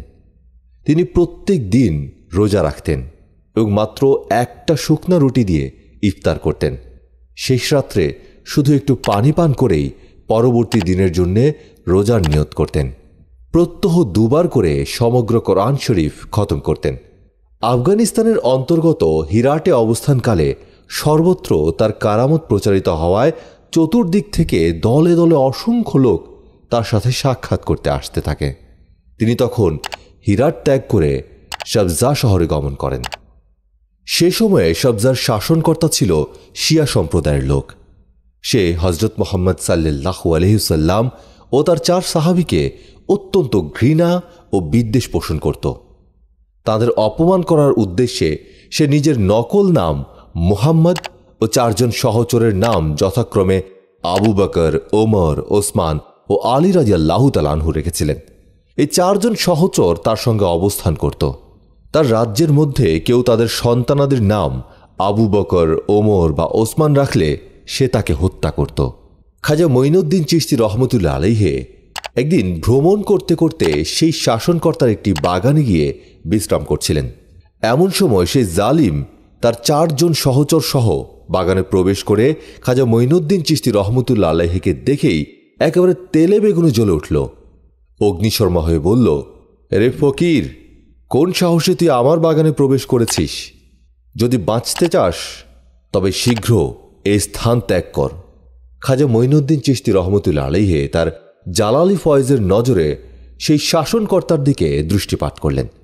লোকটি সে দৃষ্টি সহ্য করতে না পেরে থর থর করে কাঁপতে কাঁপতে শরীর অবশয়ে মাটিতে পড়ে গেল। সে বুঝতে পারল যে ফকিরের দৃষ্টিতেই তার এরূপ দুর্দশা হয়েছে। তাই বিনীতভাবে প্রার্থনা করল, হুজুর, আমাকে রক্ষা করুন। আমি আপনাকে চিনতে না পেরে আপনাকে কটুবাক্য প্রয়োগ করেছি। আপনি আমার অপরাধ ক্ষমা করুন। তার সহচরদেরও বুঝতে বাকি রইল না যে, এই ফকিরের কোপানলে পড়েই তাদের প্রভুর এইরূপ দুর্দশা হয়েছে। সেজন্যে তারাও খাজা মঈনুদ্দিন চিস্তি রহমতুল্লা আলহের পদতলে পতিত হয়ে প্রভুর জীবন ভিক্ষা চাইল। খাজা মঈনুদ্দিন চিস্তি রহমতুল্লা আলহে সেই জালিম শাসনকর্তাকে লক্ষ্য করে বললেন, তুমি যদি নিজের কৃতকর্মের জন্য সরল মনে তবা করো তবেই এই বিপদ থেকে মুক্তি পেতে পারো। লোকটি উত্তর করল, আমি আমার গত জীবনের যাবতীয় পাপ কাজ হতে তবা করছি এবং প্রতিজ্ঞা করছি, ভবিষ্যতে হজরত রসুল পাক সাল্লাহ আলহিউসাল্লাম বা তার সাহাবাদের প্রতি কোনো অসম্মানজনক আচরণ করব না। খাজা মঈনুদ্দিন চিস্তি রহমতুল্লা আলহে তখন স্বহস্তে এক ঘটি পানি এনে তাতে দম করে লোকটির চোখে মুখে ছিটিয়ে দিলেন। লোকটি তৎক্ষণাৎ সম্পূর্ণ সুস্থ হয়ে উঠে দাঁড়াল। সে তার সহচরগণ সহ খাজা মঈনুদ্দিন চিস্তি রহমতুল্লা আলাইহের কাছে তবা করে তার কাছে বায়াত হল। কথিত আছে যে অতি অল্প দিনের মধ্যেই সেই শাসনকর্তা অত্যাধিক তত্ত্বে এমন যোগ্যতা অর্জন করল যে সে তার সকল গোলাম বাদী আজাদ করে দিয়ে ও তার যাবতীয় ধন সম্পদ আল্লাহ রাস্তায় উৎসর্গ করে দিয়ে একজন কামেল অলিতে পরিণত হয়েছিল। খাজা মঈনুদ্দিন চিস্তি রহমতুল আলিহে যখন উস নগরে যান, তখন সেখানকারও অসংখ্য লোক এসে তার কাছে মরিদ হতে লাগল এবং তার দোয়া ও ফয়েজ লাভ করতে লাগল। উশনগরে আবা নামক মাদ্রাসায় কুতুবুদ্দিন নামক অত্যন্ত মেধাবী একজন ছাত্র অধ্যয়ন করতেন। তিনি খাজা মঈনুদ্দিন চিস্তি রহমতুল্লা আলাইহের প্রশংসা শুনে তার সাথে সাক্ষাৎ করার জন্যে ব্যাকুল হয়ে উঠলেন। অবশেষে তিনি ওস্তাদের অনুমতি নিয়ে খাজা মঈনুদ্দিন চিস্তি রহমতুল্লা আলাইহের সাথে সাক্ষাৎ করতে চলে গেলেন। খাজা মঈনুদ্দিন চিস্তি রহমতুল্লা আলাইহিকে দেখেই কুতুমুদ্দিনের মনে এমন একটা শ্রদ্ধার ভাব উদয় হল যে তিনি সে সময় তার পায়ের উপর লুটিয়ে পড়ে মরিদ হওয়ার প্রার্থনা জানালেন। খাজা মঈনুদ্দিন সাহেবও কুতুবুদ্দিনের চোখে মুখে এমন একটা প্রতিভার চিহ্ন দেখতে পেলেন যে তার উপরে তার স্নেহের উদয় হল। খাজা মঈনুদ্দিন চিস্তি রহমতুল্লা আলিহে কুতুবুদ্দিনকে মুরিদ করে মারেফাতের বিদ্যা দীক্ষা প্রদান করেন। কিছুদিন পীরের খেদমতে অবস্থান করে কুতুবুদ্দিন মারেফাতে এমন কামালিয়াত লাভ করলেন যে, শেষ পর্যন্ত তিনি নিজেই প্রত্যহ চল্লিশ জন লোককে মারেফাতে দীক্ষা প্রদান করে তাদেরকে ওলিয়ে কামেল বানিয়ে দিতেন। উনি সুবিখ্যাত পীর ও অলি খাজা কুতুবুদ্দিন বখতিয়ার কাকি রহমতুল্লা আলাইহে। খাজা কুতুবুদ্দিন বখতিয়ার কাকি রহমতুল্লা আলাইহে ছিলেন খাজা মঈনুদ্দিন চিস্তির রহমতুল্লা আলাইহের সর্বশ্রেষ্ঠ মুরিদ ও সর্বপ্রধান খলিফা। পাক ভারতের বহু নবাব, বাদশাহ ও আমির এবং অসংখ্য বড় বড় আলেম খাজা কুতুবুদ্দিনের মুরিদ ছিলেন। দিল্লির প্রবল পরাক্রান্ত সম্রাট শামসুদ্দিন মোহাম্মদ আলতামাস স্বয়ং খাজা কুতুবুদ্দিন বখতিয়ার কাকির মুরিদ ছিলেন। একসময় খাজা মঈনুদ্দিন চিস্তি রহমতুল্লা আলিহে তার প্রিয় শিষ্য খাজা কুতুবুদ্দিনকে সঙ্গে নিয়ে বাগদাদ শরীফে যান এবং সেখানে একটি হুজরা নির্মাণ করে প্রায় ছ মাস কাল বাগদাদ অবস্থান করেন। এ সময় তিনি প্রত্যহই গাউসুল আজম বড়পীর হজরত আব্দুল কাদের জিলানি রহমতুল আলহি সাহেবের সাথে সাক্ষাৎ করে তার দোয়া ও ফয়েজ লাভ করতেন। খাজা কুতুবুদ্দিনও প্রত্যহ তার পীরের সাথে গিয়ে হজরত বড়পীর সাহেবের সাক্ষাৎ করতেন। হজরত বড়পীর সাহেব খাজা কুতুবুদ্দিনের আচার, ব্যবহার ও চালচলন দেখে অত্যন্ত খুশি হয়েছিলেন। তাই তিনি একদিন খাজা মঈনুদ্দিনকে সম্বোধন করে বললেন, হে বৎস মঈনুদ্দিন, আমি অন্তরের অন্তঃস্থল থেকে দোয়া করছি। তোমার প্রিয় শিষ্য কুতুবুদ্দিন একসময় একজন শ্রেষ্ঠ আউলিয়ায় পরিণত হবে এবং তার সাহচর্যে থেকে বহু লোক কামেললি হয়ে যাবে। গাউসুল আজম হজরত বরপীর সাহেবের এই দোয়া সত্যই অক্ষরে অক্ষরে ফলে গিয়েছিল। পরবর্তীকালে খাজা কুতুবুদ্দিন বখতিয়ার কাকি সারা দুনিয়ার অলিয়ে কামেল ও শ্রেষ্ঠ সাধক বলে প্রসিদ্ধি লাভ করেছিলেন। খাজা মঈনুদ্দিন চিস্তি রহমতুল্লা আলহে এভাবে বিভিন্ন দেশে ভ্রমণ করে ইসলাম প্রচার করতে করতে অবশেষে পুনরায় নিশাপুরের কাছে এসে তার পীর খাজা ওসমান হারুনি রহমতুল্লা আলহের দর্শন লাভ করলেন। তিনি পীর সাহেবের দর্শন লাভ করে যার পর নাই খুশি হলেন। পীর সাহেবও দীর্ঘদিন পর তার প্রিয় শিষ্য খাজা মঈনুদ্দিনকে পেয়ে আনন্দে বুকে জড়িয়ে ধরলেন। তখন হজের সময় প্রায় ঘনিয়ে এসেছিল। তাই তিনি খাজা মঈনুদ্দিনকে সঙ্গে নিয়ে হজের উদ্দেশ্যে মক্কা শরীফের দিকে রওনা হলেন। খাজা ওসমান হারুনি রহমতুল্লা আলহে মক্কা শরীফে উপস্থিত হয়ে খানায় কাবায় তপ করার পর বাবে রহমতে দণ্ডায়মান হয়ে খাজা মঈনুদ্দিনের হাত ধরে আল্লাহ পাকের কাছে প্রার্থনা করলেন। হে আল্লাহ, আপনি দয়া করে মঈনুদ্দিন ও তার তরিকার যাবতীয় পীর ও মুরিদদেরকে মাফ করে দিন এবং তাকে আপনার প্রিয় বান্দাদের অন্তর্ভুক্ত করে নিন। আল্লাহ পাকের তরফ থেকে তৎক্ষণাৎ উত্তর এলো, মঈনুদ্দিন আমার খাঁটি বান্দা, আমি পূর্বেই তাকে মাফ করে দিয়েছি এবং তাকে আমি আমার বন্ধু শ্রেণির অন্তর্ভুক্ত করে নিয়েছি। খাজা ওসমান হারুনি ও খাজা মঈনুদ্দিন চিস্তি রহমতুল্লা আলহে পরম করুণাময় আল্লাহ তালার এ বাণী শ্রবণ করে খুশি হয়ে আল্লাহর হাজার শুক্রিয়া আদায় করলেন। অন্য এক সময়ে খাজা মঈনুদ্দিন চিস্তি রহমতুল্লা আলহে খানায় কাবা তওয়াফ করার সময় শুনতে পেলেন, আল্লাহ তালা তাকে সম্বোধন করে বললেন, হে মঈনুদ্দিন, আমি তোমার প্রতি সন্তুষ্ট। তুমি এখন আমার কাছে যে প্রার্থনা করবে, আমি তাই কবুল করব।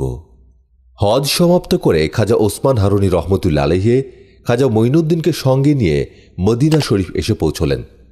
তিনি তার প্রিয় মুরিদ মঈনুদ্দিনকে সঙ্গে নিয়েই রসুলে পাক সাল্লাহ আলহিসাল্লামের রওজা মোবারকে উপস্থিত হয়ে আদেশ করলেন, মঈনুদ্দিন, হুজুর সাল্লাহ আলি সাল্লামকে সালাম জানাও। খাজা মঈনুদ্দিন, আসসালাম আলাইকুম ইয়া রাসুলাল্লাহ সাল্লাহ আলি সাল্লাম বলে হজরত রসুল করিম সাল্লাহ আলি সাল্লামকে সালাম জানালেন। হজরত রওজা মোবারক থেকে সে সময় আওয়াজ এলো, ওয়ালাইকুম আসসালাম, ইয়া কুতুবুল আখতাব।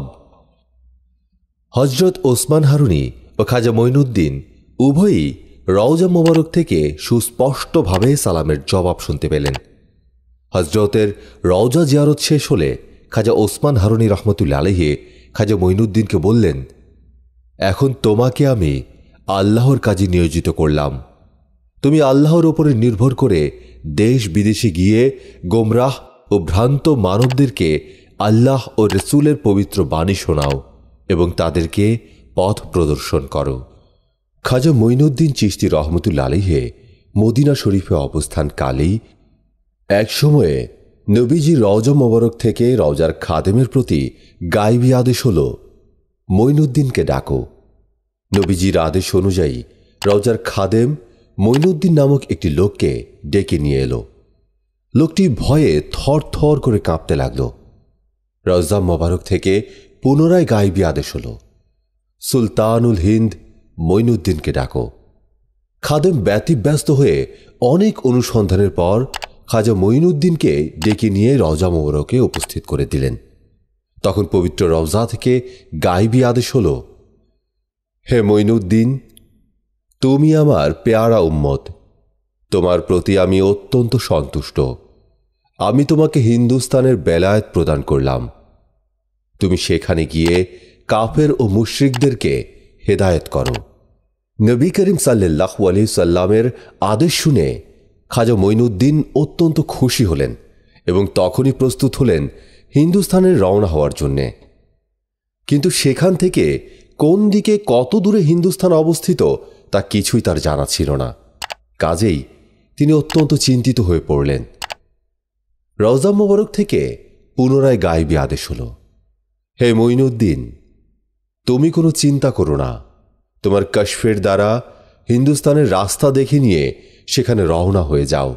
আল্লাহ পাক সর্বদা তোমার সঙ্গে আছেন। খাজা মঈনুদ্দিন চিস্তি রহমতুল্লা আলিহে সে সময় রওজা মোবারকের কাছে বসে চোখ বন্ধ করে ধ্যানস্থ ছিলেন। সে সময় মদিনা শরীফ থেকে পাক ভারতের আমির পর্যন্ত সমগ্র ভূভাগের একটা বিরাট মানচিত্র মদিনা থেকে দিল্লি ও আজমির পর্যন্ত যাওয়ার রাস্তা দেখে নিয়ে হিন্দুস্তানের দিকে রওনা হলেন। খাজা মঈনুদ্দিন চিস্তি রহমতুল্লা আলিহে রসুলে পাক সাল্লাহ আলহিসাল্লামের আদেশে মদিনা থেকে হিন্দুস্তানের দিকে রওনা হলেন। খাজা মঈনুদ্দিন চিস্তি রহমতুল্লা আলিহের তখন বেশ বয়স হয়েছে। যৌবনের স্বাভাবিক শক্তি ও উদ্যম তখন আর তার শরীরে পূর্ণমাত্রায় বিদ্যমান নেই। কিন্তু তবুও দুর্গম পথের চিন্তা, বিদেশ ভ্রমণে ভবিষ্যৎ দুঃখ, কষ্ট ও বিপদ আপদের সম্ভাবনা, নানা প্রকারের বাধা, বিপত্তি কিছুই তাকে তার উৎসাহ থেকে বিন্দুমাত্র সরাতে সক্ষম হল না। আল্লাহ পাকের নাম ভরসা করে তিনি রওনা হলেন সুদূর হিন্দুস্তানের দিকে। তিনি মদিনা শরীফ থেকে রওনা হয়ে প্রথমে বলখে গমন করে কয়েকদিন হজরত শেখ আহমদ কিরুজি রহমতুল্লা আলহের খিদমতে অতিবাহিত করলেন। একদিন তিনি সেই আলিম সাহেবকে নিজের আস্তানায় আহারের জন্যে দাওয়াত করলেন এবং সহস্তে একটা মোড়ক জবাই করে তা দিয়ে কাবাব তৈরি করে রাখলেন। হাকিম জিয়াউদ্দিন দাওয়াত রক্ষা করতে এলে তিনি তাকে সঙ্গে নিয়ে একত্রেই আহার করতে বসলেন। সেই কাবাব খাওয়া মাত্রই হাকিম জিয়াউদ্দিনের অন্তরে প্রতিক্রিয়ার সৃষ্টি হল। তার বুকের ভেতরে ধড়ফড় করতে লাগল। একটু পরেই তিনি অজ্ঞান হয়ে পড়ে গেলেন। অনেকক্ষণ পরে তার স্বাভাবিক জ্ঞান ফিরে এলে তিনি বুঝতে পারলেন যে খাদ্যের কোনো বৃষক্রিয়ায় তার এরূপ অবস্থা হয়নি। বরং খাজা মঈনুদ্দিন চিস্তির রহমতুল আলহের অলৌকিক ক্ষমতার বলেই তার এরূপ প্রতিক্রিয়ার সৃষ্টি হয়েছে। তিনি নিজের ভুল বুঝতে পেরে খাজা মঈনুদ্দিন চিস্তির রহমতুল আলহের কাছে ক্ষমা প্রার্থনা করলেন এবং তার কাছে মুরিদ হলেন। কিছুদিনের মধ্যেই তিনি মারিফত তত্ত্বের দিকে এত দূর আকৃষ্ট হয়ে পড়লেন যে শেষ পর্যন্ত দর্শন শাস্ত্রের প্রতি অভক্তি জন্মে গেল। তিনি বুঝতে পারলেন যে ইলমে তাসাউফ বা মারিফাত বিদ্যার তুলনায় দর্শন শাস্ত্র অতি তুচ্ছ, অতি নগণ্য। তাই তিনি দর্শনশাস্ত্রের গ্রন্থগুলো নদীতে নিক্ষেপ করে ইলমে তাসাউফকেই জীবনের শ্রেষ্ঠ অবলম্বন বলে গ্রহণ করলেন। পরবর্তীকালে তিনি ইলমে তাসাউফের একজন মহাপণ্ডিত ও কামেল অলিতে পরিণত হয়েছিলেন। বলকে কিছুদিন অবস্থান করার পর খাজা মঈনুদ্দিন চিস্তি রহমতুল্লা আলিহে সেখান থেকে রওনা হয়ে পার্বত্য পথে ভ্রমণ করতে করতে আফগানিস্তানের ভেতর দিয়ে লাহোরে এসে পৌঁছলেন। খাজা মঈনুদ্দিন চিস্তি রহমতুল আলিহে যখন পাক ভারতে আগমন করেন, তখন এদেশের সর্বত্র এই প্রাচীন হিন্দু ধর্ম প্রচলিত ছিল। হিন্দুদের ধর্ম তখনও চরম কুসংস্কারে আচ্ছন্ন ছিল। ঘরে ঘরে তখন মূর্তি পূজা চলত, তাও আবার সকলে একই দেবতার পূজা করত না। প্রত্যেক গোত্রে বিভিন্ন দেবতা ছিল। এক এক দেবতাকে এক একটি ক্ষমতার অধিকারী বলে মনে করা হতো। কোনো দেবতাকে ধনদাতা, কাউকে বিদ্যাদাতা, কাউকে পুত্রকন্যাদাতা, কাউকে রোগ নিরাময়কারী বলে বিশ্বাস করা হতো। রোগ আরোগ্যকারী দেবতাও আবার একজন ছিল না। এক এক রোগের হাত থেকে রক্ষাকারী দেবতা এক একজন ছিল। দেবতার অস্তিত্বে ও ক্ষমতায় তারা এতই বিশ্বাসী ছিল যে কোনো বড় কিছু দেখলেই তাকে তারা দেবতা বলে মেনে নিত। দৈত্য, দানব, রাক্ষস, খক্ষস, ভূত, প্রেত, চন্দ্র, সূর্য, পাহাড়, পর্বত, সাগর, নদী, গাছগাছড়া, গরু, মহিষ, সাপ, বিচ্ছু প্রভৃতিকেও তারা দেবতা বলে মান্য করত। তাদের দেবতার সংখ্যা দৈনন্দিন বাড়তে বাড়তে শেষ পর্যন্ত ছত্রিশ কোটিতে এসে দাঁড়িয়েছিল। সর্বশক্তিমান, মহান আল্লাহ তালার কথা তারা ধ্যান ধারণার মধ্যেই আনতে পারত না। দেবতাই ছিল তাদের সব কিছু মোট কথা হজরত রসুল পাক সাল্লাহ আলী সাল্লামের আবির্ভাবের পূর্বে আরবের অবস্থা যা ছিল, খাজা মঈনুদ্দিন চিস্তির আগমনের পূর্বে পাক ভারতের অবস্থাও ঠিক তাই ছিল। অবশ্য খাজা মঈনুদ্দিন চিস্তি রহমতুল আলেহের আগমনের পূর্বে পাক ভারতের উত্তর পশ্চিম অঞ্চলে ইসলামের আলো সামান্য কিছুটা প্রবেশ করেছিল। কিন্তু মধ্য ও দক্ষিণ ভারত তখন একেবারেই ঘোর অন্ধকারে নিমজ্জিত ছিল। সাতশো বারো খ্রিস্টাব্দে সর্বপ্রথম মোহাম্মদ ইবনে কাশিম ভারতে আগমন করেন। তার সঙ্গে যারা এসেছিলেন, তারা সবাই ছিলেন আরবীয় মুসলমান। মোহাম্মদ ইবনে কাশিম সিন্ধু দেশ জয় করে চলে গেলেও তার সঙ্গীদের মধ্যে অনেকেই এদেশে স্থায়ী বসতি স্থাপন করে বসবাস করতে থাকেন। তখনই সামান্য কিছু সংখ্যক মুসলমান সর্বপ্রথম পাক ভারতে বসতি স্থাপন করেন। তাদের মধ্যে অনেক বড় বড় আলেম ও কামেল অলিও ছিলেন। তারা আপন আপন বাসস্থানের আশেপাশেও কিছু কিছু লোককে ইসলাম ধর্মে দীক্ষিত করেছিলেন। তারপর দীর্ঘদিন যাবৎ কোনো মুসলমান এদেশ আক্রমণ বা ইসলাম প্রচার করতে আসেননি।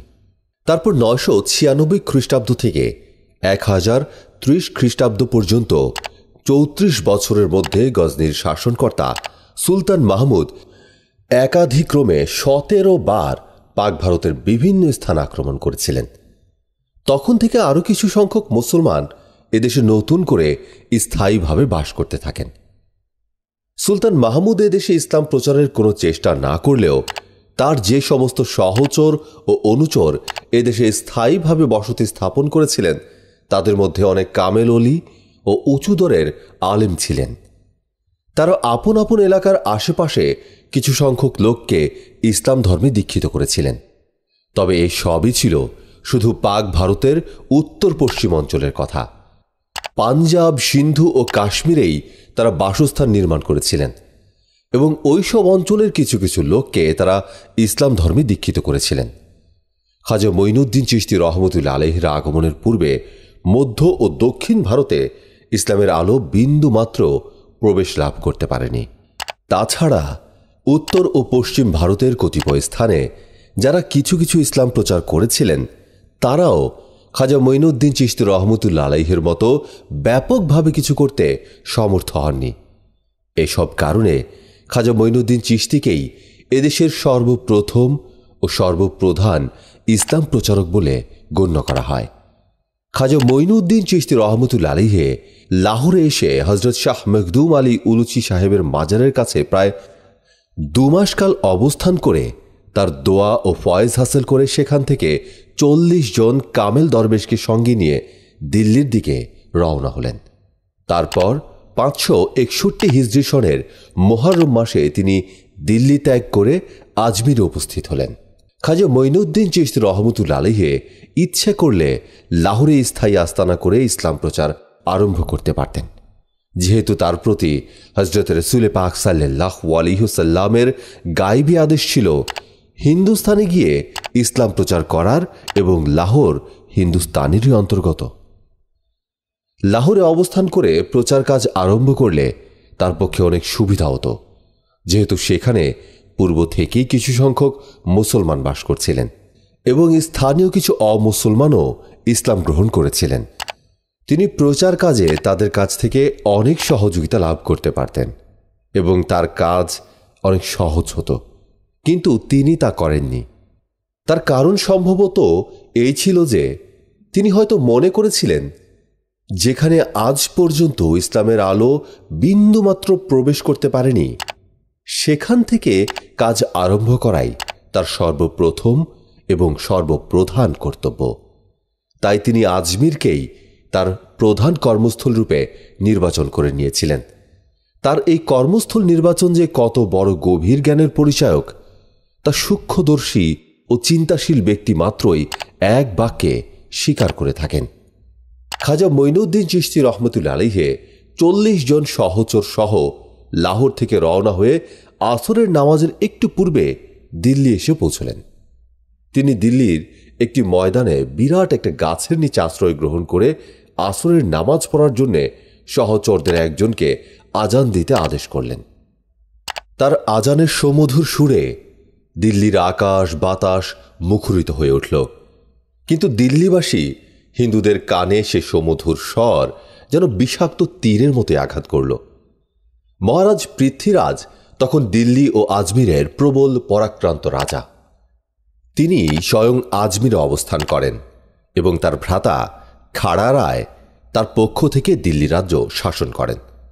পৃথ্বীরাজ মুসলমানদের আগমনের কথা খাজা মঈনুদ্দিন চিস্তির রহমতুল আলহের আগমনের অনেক পূর্বেই জানতে পেরেছিলেন। তাই তিনি তার ভ্রাতা খাড়া রায়কে সতর্ক করে দিয়ে বলেছিলেন যে, আমার রাজ্যে যেন কোনো মুসলমান ফকিরের আগমন ঘটতে না পারে। যদি কখনো কোনো মুসলমান ফকির দিল্লি রাজ্যে প্রবেশ করে, তবে তাকে বন্দি করে আমার কাছে পাঠিয়ে দেবে। রাজা পৃথ্বীরাজ তার ভ্রাতাকে সতর্ক করে দিয়েই নিশ্চিন্ত ছিলেন না। তিনি দিল্লি ও আজমিরের নানা স্থানে অসংখ্য গুপ্তচর নিযুক্ত করে রেখেছিলেন। তাদের ওপরে নির্দেশ ছিল যে, কোনো মুসলমান ফকিরকে দিল্লি বা আজমিরে প্রবেশ করতে দেখা মাত্রই আমাকে সংবাদ দেবে। মুসলমান সম্পর্কে একটা ভীষণ আতঙ্ক পৃথ্বীরাজের অন্তরে সর্বদা জাগ্রত ছিল। রাজা পৃথ্বীরাজ কীভাবে খাজা মঈনুদ্দিন চিস্তি রহমতুল আলহের আগমনের অনেক পূর্বেই তার আগমন সংবাদ জানতে পেরেছিলেন? চলুন, এবার সেটা নিয়েই আলোচনা করছি। পৃথ্বীরাজের পিতা সোমেশ্বর রায় ছিলেন একজন বিখ্যাত জ্যোতির্বিদ পণ্ডিত।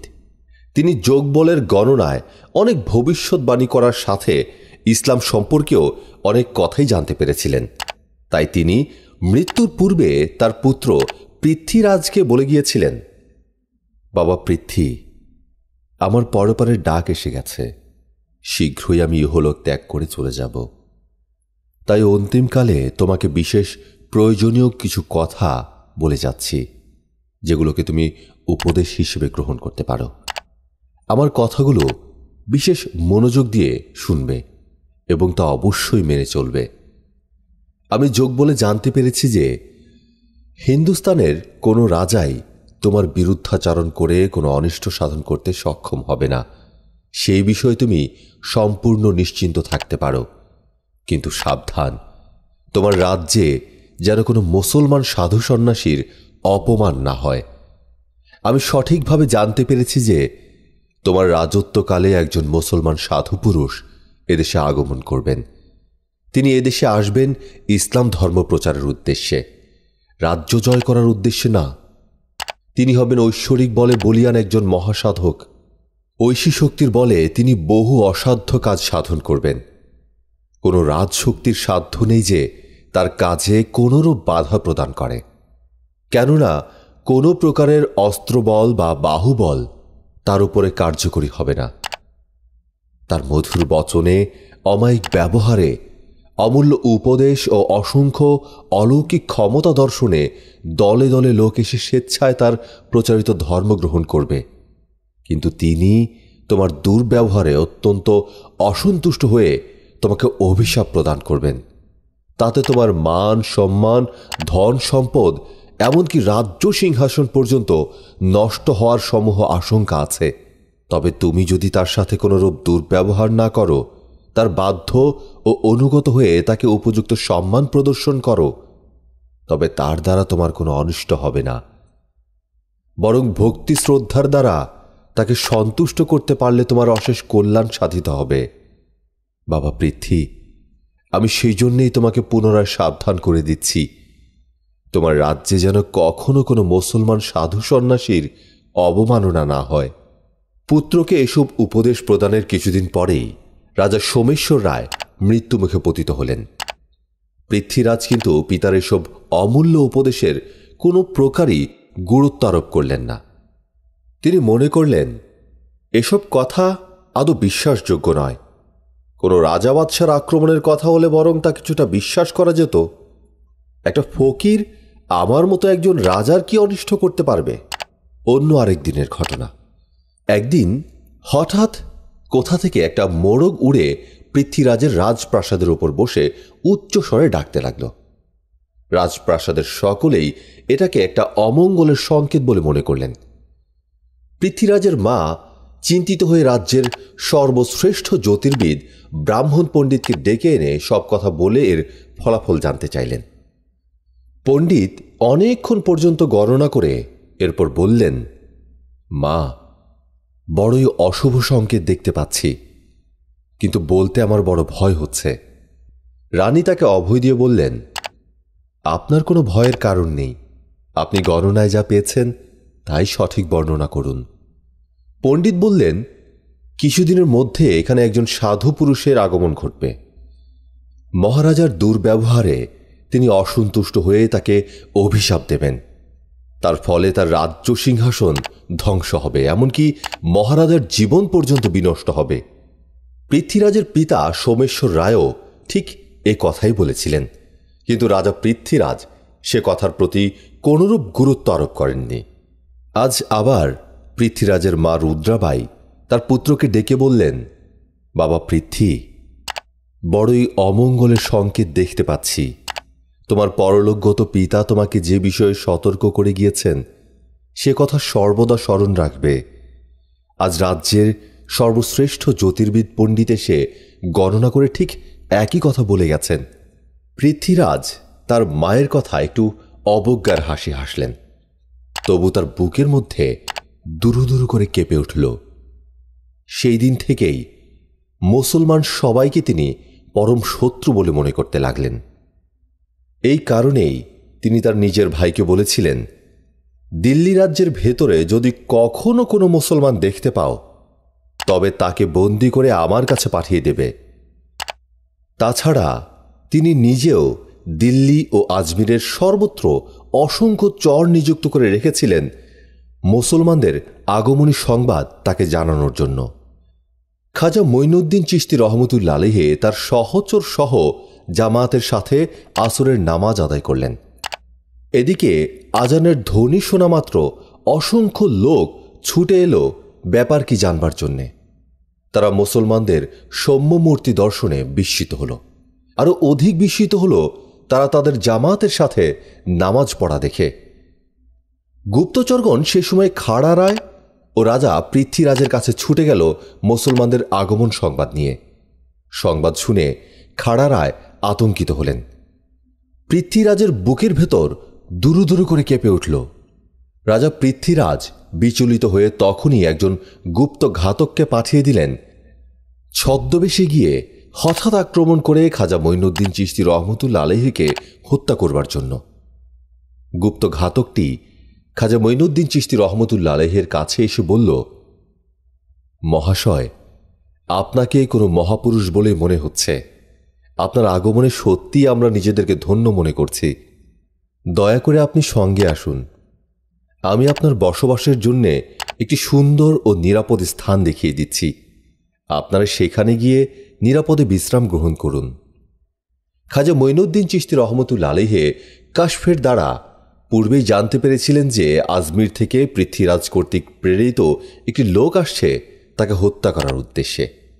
এই লোকটি যে সেই লোক, তা বুঝতে খাজা মঈনুদ্দিন চিস্তি রহমতুল আলাইহের বিলম্ব হল না। তিনি লোকটির দিকে তাকিয়ে বললেন, তোর শয়তানের উদ্দেশ্য আমি বুঝতে পেরেছি। মিষ্টি কথায় ভুলিয়ে তুই আমাকে হত্যা করতে এসেছিস? তোর জামার ভেতরে যে বিষাক্ত ছুরি লোকানো রয়েছে তা আমার জানতে বাকি নেই। একটু সবুর কর। আমি এখনই তোর বিশ্বাসঘাতকতার সমুচিত প্রতিফল প্রদান করছি। পাপিষ্ট ঘাতক খাজা মঈনুদ্দিন চিস্তি রহমতুল আলহের কথা শুনে ভয়ে থর থর করে কাঁপতে কাঁপতে খাজা মঈনুদ্দিন চিস্তি রহমতুল আলহের পদতলে পতিত হয়ে সে অপরাধ স্বীকার করে ক্ষমা প্রার্থনা করতে লাগল। দয়ার সাগর, খাজা মঈনুদ্দিন চিস্তি রহমতুল আলহে তাকে মাফ করে দিলেন। লোকটি খাজা মঈনুদ্দিন চিস্তি রহমতুল আলেহের মহত্বের পরিচয় পেয়ে তখন তার কাছে ইসলাম ধর্ম গ্রহণ করে তার খিদমতেই রয়ে গেল। খাজা মঈনুদ্দিন চিস্তি রহমতুল আলেহের এই অলৌকিক ক্ষমতার কথা অতি অল্প সময়ের মধ্যেই দিল্লির চতুর্দিকে ছড়িয়ে পড়ল এবং প্রত্যহ দলে দলে আসতে লাগল এই মুসলমান ফকিরকে দেখবার জন্য। কয়েকদিনের মধ্যেই দিল্লির শতাধিক লোক খাজা মঈনুদ্দিন চিস্তি রহমতুল আলাইহের অমৃত বাণী শুনে ইসলামের মহত্বে মুগ্ধ হয়ে ইসলাম ধর্মে দীক্ষিত হল। যে চৌহান বংশীয় রাজপুতদের হাতে শাহাবুদ্দিন মোহাম্মদ ঘুরির মতো মহাবীরও দুই দুইবার পরাজয় বরণ করতে বাধ্য হয়েছিলেন।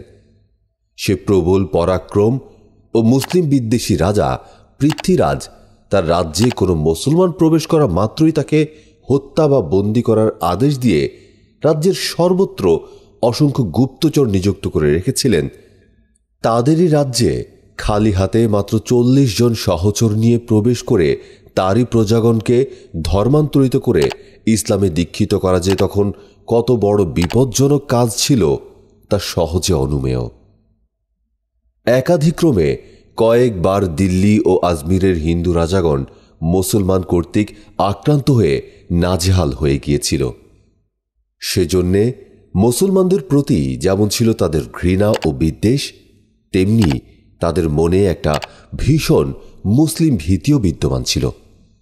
তাই তারা ইসলাম ও মুসলমানের নাম শুনলেই একেবারে তেলে বেগুনে জ্বলে উঠত। এমত অবস্থায়ও খাজা মঈনুদ্দিন চিস্তি রহমতুল্লা আলাইহে যে দিল্লিতে প্রবেশ করে কয়েকদিনের মধ্যেই কিছু সংখ্যক লোককে ধর্মে দীক্ষিত করতে সমর্থ হয়েছিলেন, তা শুধু তার মহান চরিত্রের বলেই সম্ভব হয়েছিল। একদিকে মানুষের প্রতি তার অকৃত্রিম দরদ, মানুষকে আল্লাহর পথে আহ্বান করার অপূর্ব কৌশল ও অমায়িক ব্যবহার প্রতিটি মানুষকে তার একান্ত বাধ্য ও অনুগত করে তুলেছিল। অপরদিকে তার অসাধারণ রুহানি ক্ষমতার বলে প্রবল রাজশক্তিও ভয়ে থর থর করে কাঁপছিল। তাই দিল্লির প্রতিটি নাগরিক, এমনকি স্বয়ং খাড়া রায়কে এই মুসলমান ফকিরের কার্যকলাপে কাঠপুত্তুলিকার মতো শুধু দাঁড়িয়ে দেখছিল।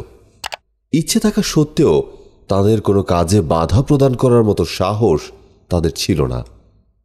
খাজা মঈনুদ্দিন চিস্তি রহমতুল্লা আলহের মহান চরিত্র, উদার হৃদয় ও আধ্যাত্মিক শক্তি পরাজয় স্বীকার করতে বাধ্য করেছিল তাদের। খাজা মঈনুদ্দিন চিস্তি রহমতুল্লা আলহে দিল্লিতে অধিক বিলম্ব না করে কয়েকদিন পরেই তার সহচরগণ সহ আজমিরের দিকে রওনা হলেন। খাজা মঈনুদ্দিন চিস্তি রহমতুল্লা আলিহে সদল বলে দিল্লি ত্যাগ করে আজমিরে রওনা হলেন। তিনি আজমিরে পৌঁছাবার পূর্বেই রাজা পৃথ্বীরাজের কাছে এই সংবাদ পৌঁছে গেল। তিনি এই সংবাদ শুনে চিন্তিত হয়ে ভাবতে লাগলেন তাই তো। কি করে এই ফকিরের দলকে বাধা দেওয়া যায়? অনেক চিন্তার পর তিনি মনে মনে চিন্তা করলেন, মুসলমানদেরকে আজমিরে প্রবেশের পূর্বেই যদি কৌশলে বাধা প্রদান করা যায়, তবেই মঙ্গল। এমন একটা কৌশল অবলম্বন করতে হবে যাতে তারা স্বেচ্ছায় আজমিরে না এসে অন্যদিকে চলে যায়। তিনি কয়েকজন খুব চতুর লোককে পাঠিয়ে দিলেন তাদেরকে আজমির প্রবেশে বিরত রাখার জন্যে। খাজা মঈনুদ্দিন চিস্তি রহমতুল্লা আলহে দিল্লি ও আজমিরের মধ্যপথে আগমন করলে পৃথ্বীরাজের প্রেরিত লোকজন তাদের সাথে সাক্ষাৎ করে সসম্ভ্রমে সালাম জ্ঞাপন করে বললেন, মহান ব্যক্তিত্ব, আমরা একটি বিশেষ অনুরোধ জানাবার জন্যে আপনার কাছে এসেছি। খাজা মঈনুদ্দিন চিস্তি রহমতুল্লা আলহে জিজ্ঞেস করলেন, বলো, তোমাদের কি অনুরোধ? লোকগুলো বলল, দিল্লিতে আপনার অলৌকিক ক্ষমতার কথা শুনে আমরা বুঝতে পেরেছি যে আপনি একজন মহাপুরুষ।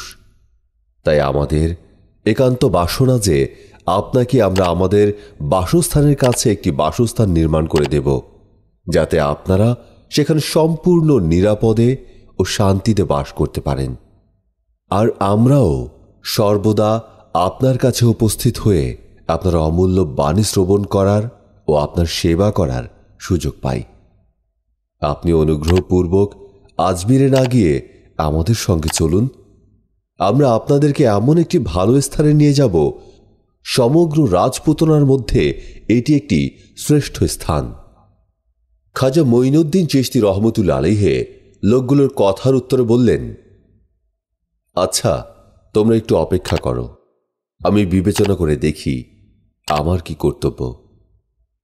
এরপর খাজা মঈনুদ্দিন চিস্তি রহমতুল্লা আলিহে সে সময়ে মোরাকাবায় ধ্যানে বসে গেলেন তার কর্তব্য পথের সন্ধানের উদ্দেশ্যে।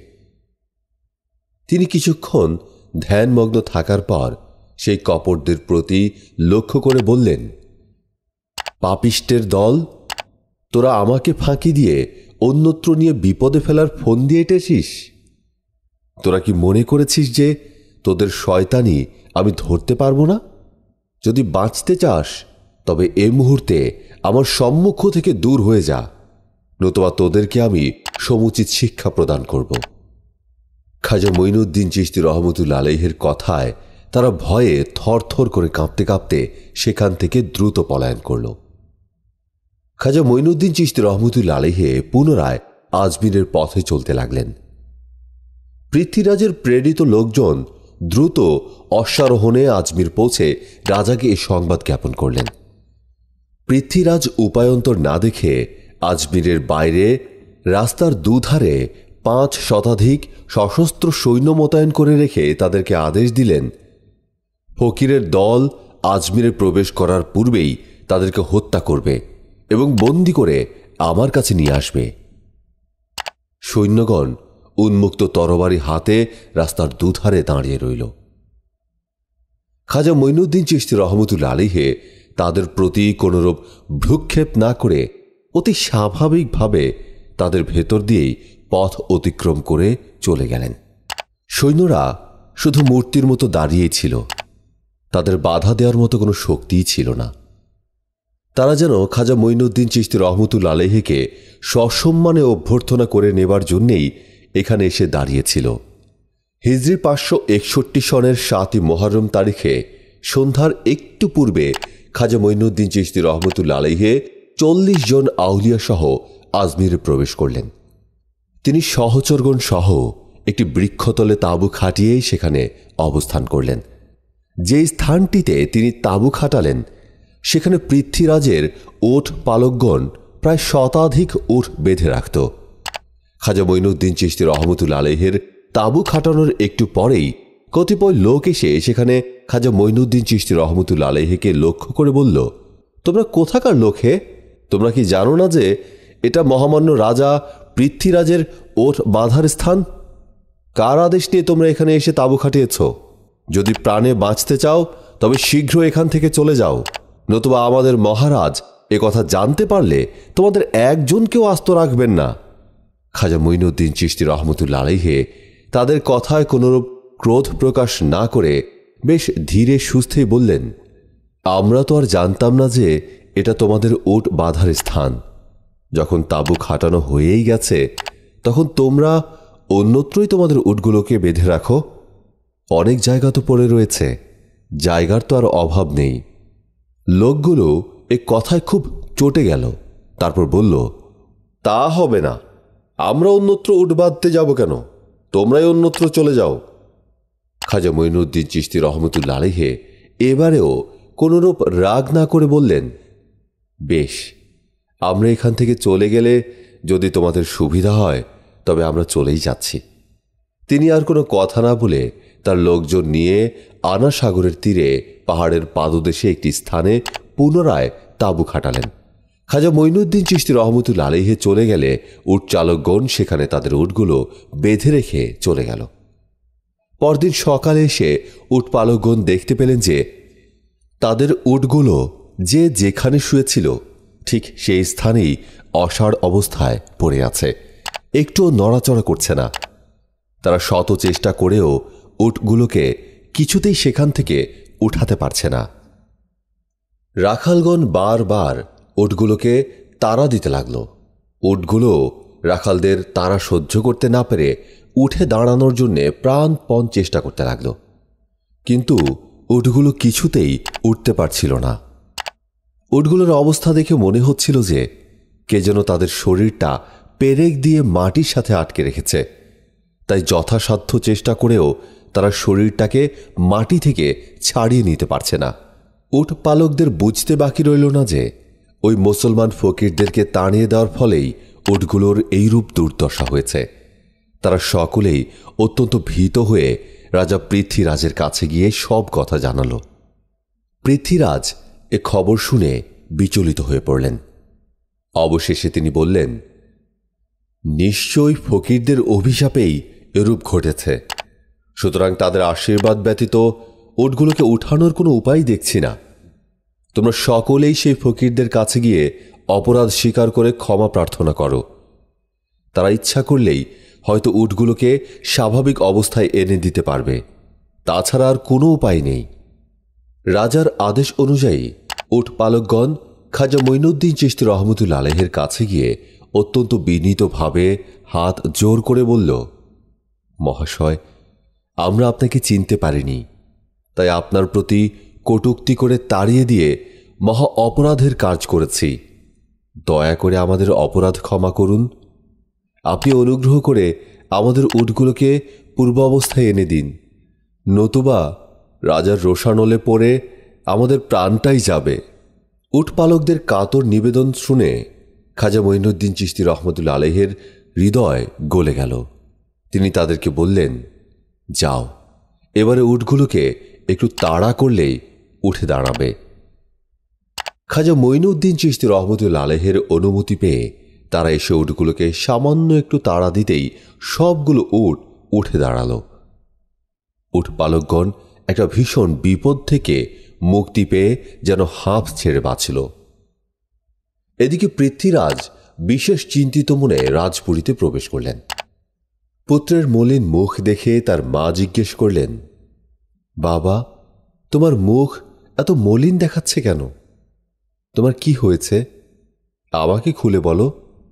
পৃথ্বীরাজ মুসলমান ফকিরদের আগমন সম্বন্ধে সব কথাই তার মায়ের কাছে খুলে বললেন। তদুত্তরে পৃথ্বীরাজের মা রুদ্রাবাই বললেন, বৎস, এর জন্য তোমার চিন্তার কোনো কারণ নেই। সাধু সন্ন্যাসীগণ হিন্দু হন আর মুসলিম হন, তারা সবাই হিংসা, দেশ, বিবর্জিত পরোপকারী ও ভগবানের প্রিয় পাত্র হয়ে থাকেন।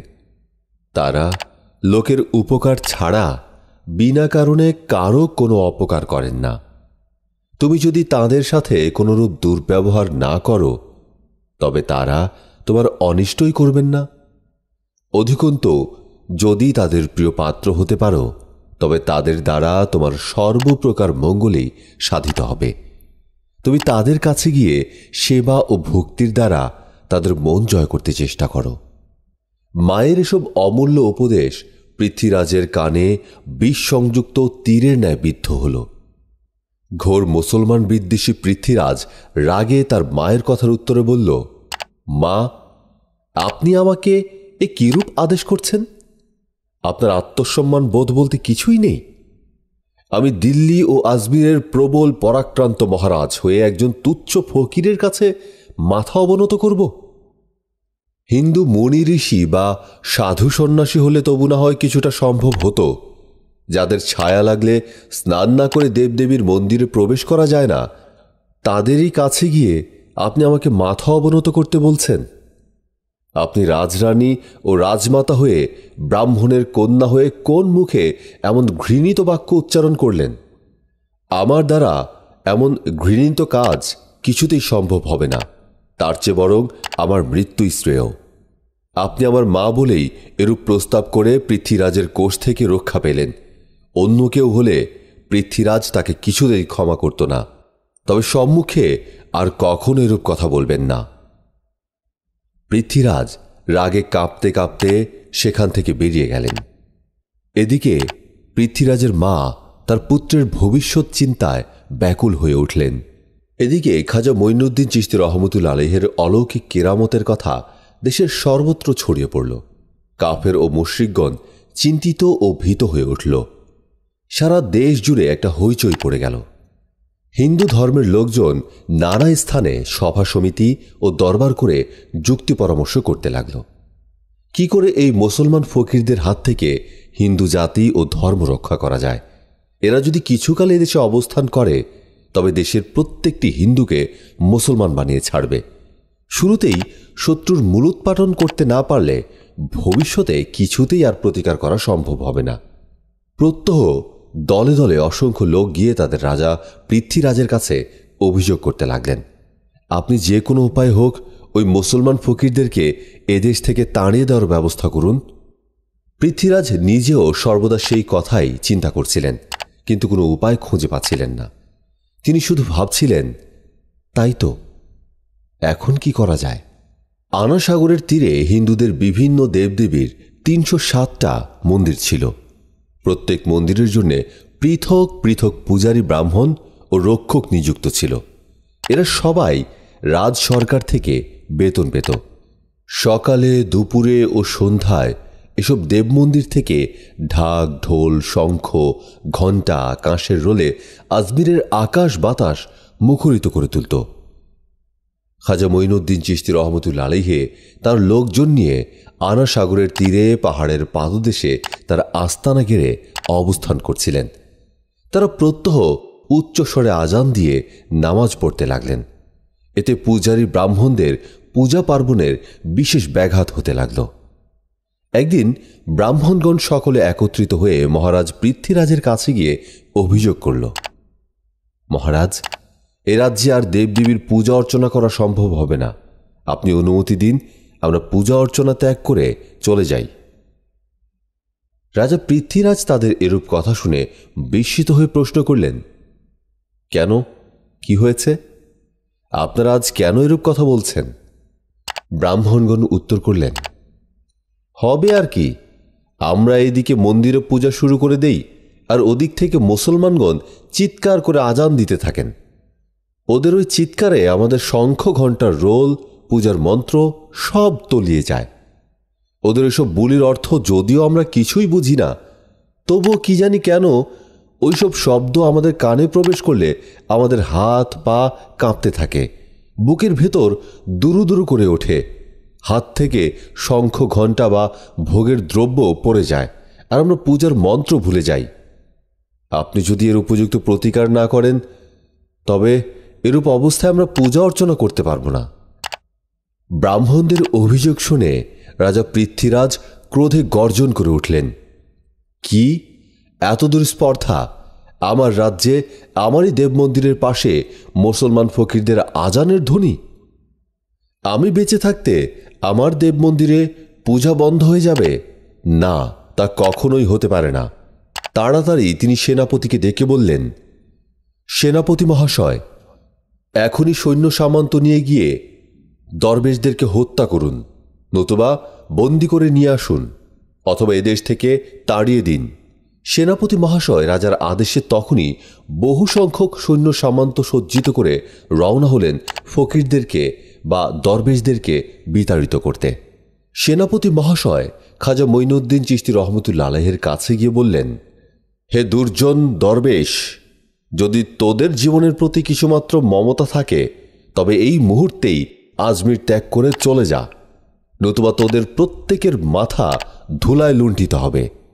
সেনাপতির কথায় খাজা মঈনুদ্দিন চিস্তি রহমতুল্লা আলহে অত্যন্ত দুঃখিত হয়ে নির্ভীক চিত্তে দৃঢ় কণ্ঠে উত্তর করলেন, আমরা তোদের হুমকি ধামকিতে ভীত নই। আমরা কিছুতেই এখান থেকে যাব না। তোদের যা ক্ষমতা থাকে তা করতে পারিস। তবে জেনে রাখিস, আর এক পা এদিকে অগ্রসর হলেই তোর আর প্রাণ নিয়ে ফিরে যেতে হবে না।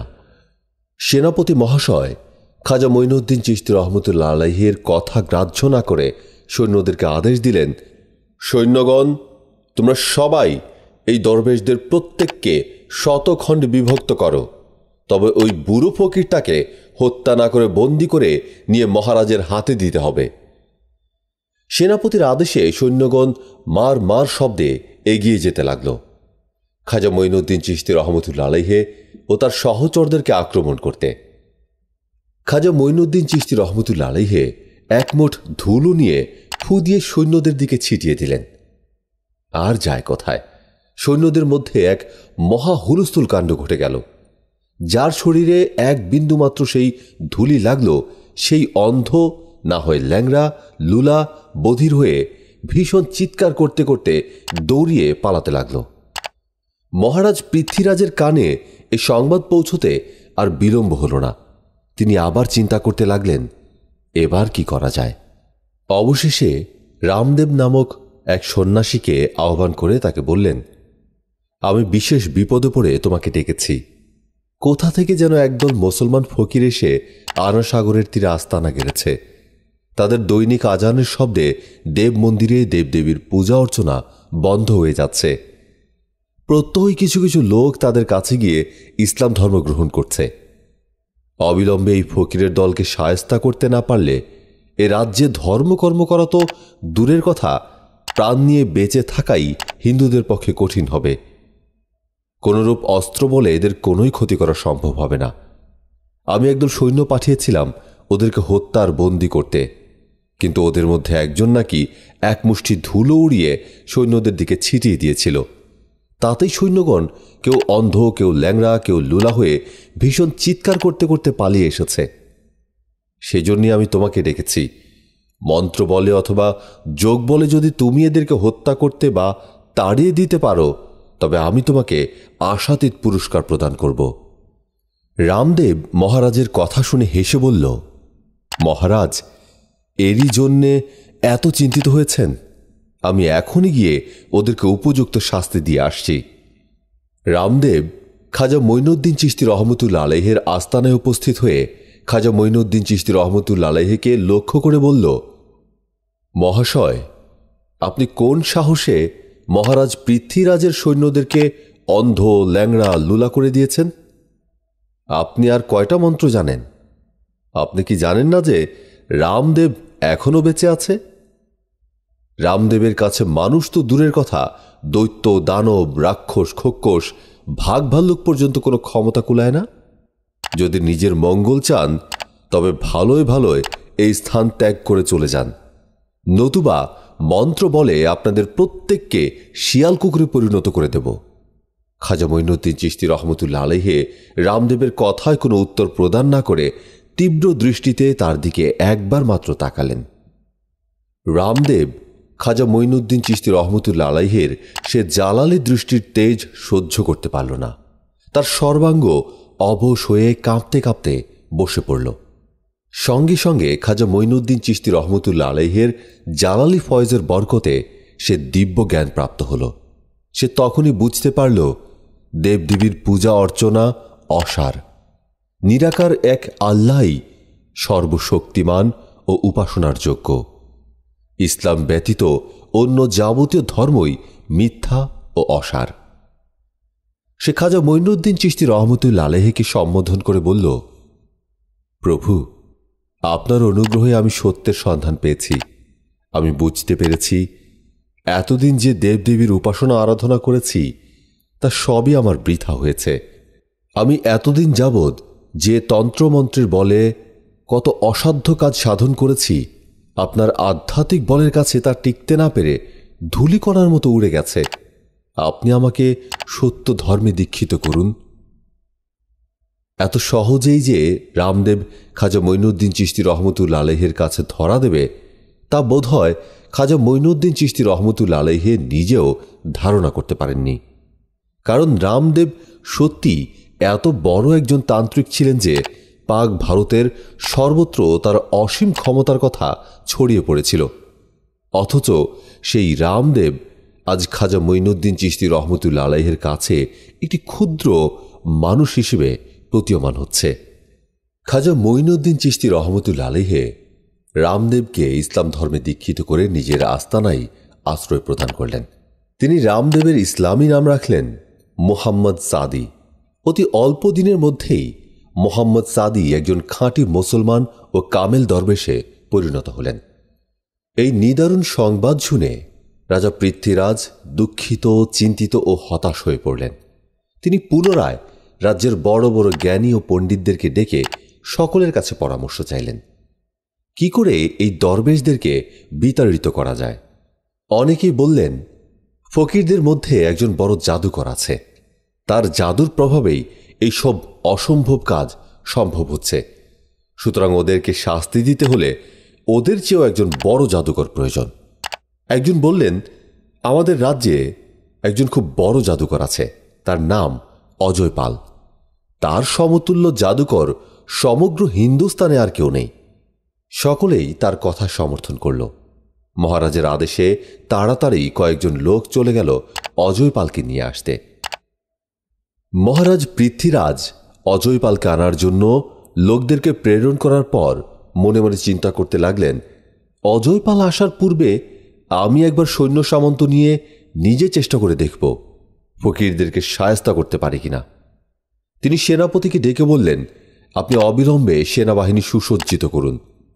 আজ আমি নিজে সৈন্য পরিচালনা করে ওই দরবেশদেরকে উপযুক্ত শিক্ষা প্রদান করে আসব। সেনাপতিকে আদেশ দিয়ে তিনি প্রাসাদে এসে যুদ্ধের পোশাকে সজ্জিত হলেন। রাজা পৃথ্বীরাজ রণসাজে সজ্জিত হয়ে যেই মাত্র রাজপ্রাসাদ হতে বের হবার উপক্রম করেছেন, তখনই তার দুচোখ অন্ধ হয়ে গেল। তিনি দুচোখে আর কিছুই দেখতে পেলেন না। কাজেই আর এক পাও অগ্রসর হওয়া তার পক্ষে সম্ভব হল না। পরিশেষে রাজা পৃথ্বীরাজ যুদ্ধের পোশাক পরিচ্ছদ সব খুলে ফেলে সাধারণ রাজপোশাক পরিধান করলেন। কি আশ্চর্য! যুদ্ধের সাজ পোশাক দেহ থেকে খুলতেই তিনি আবার সুস্পষ্টভাবে সবকিছু দেখতে পেলেন। মহারাজ মনে করলেন, হঠাৎ কোনো কারণে চোখে ধাঁধা লেগেছিল, তাই চোখে আধার দেখছিলাম। তিনি পুনরায় রণসাজে সজ্জিত হয়ে প্রাসাদ থেকে বের হওয়ার উদ্যোগ করতেই আবার অন্ধ হয়ে গেলেন।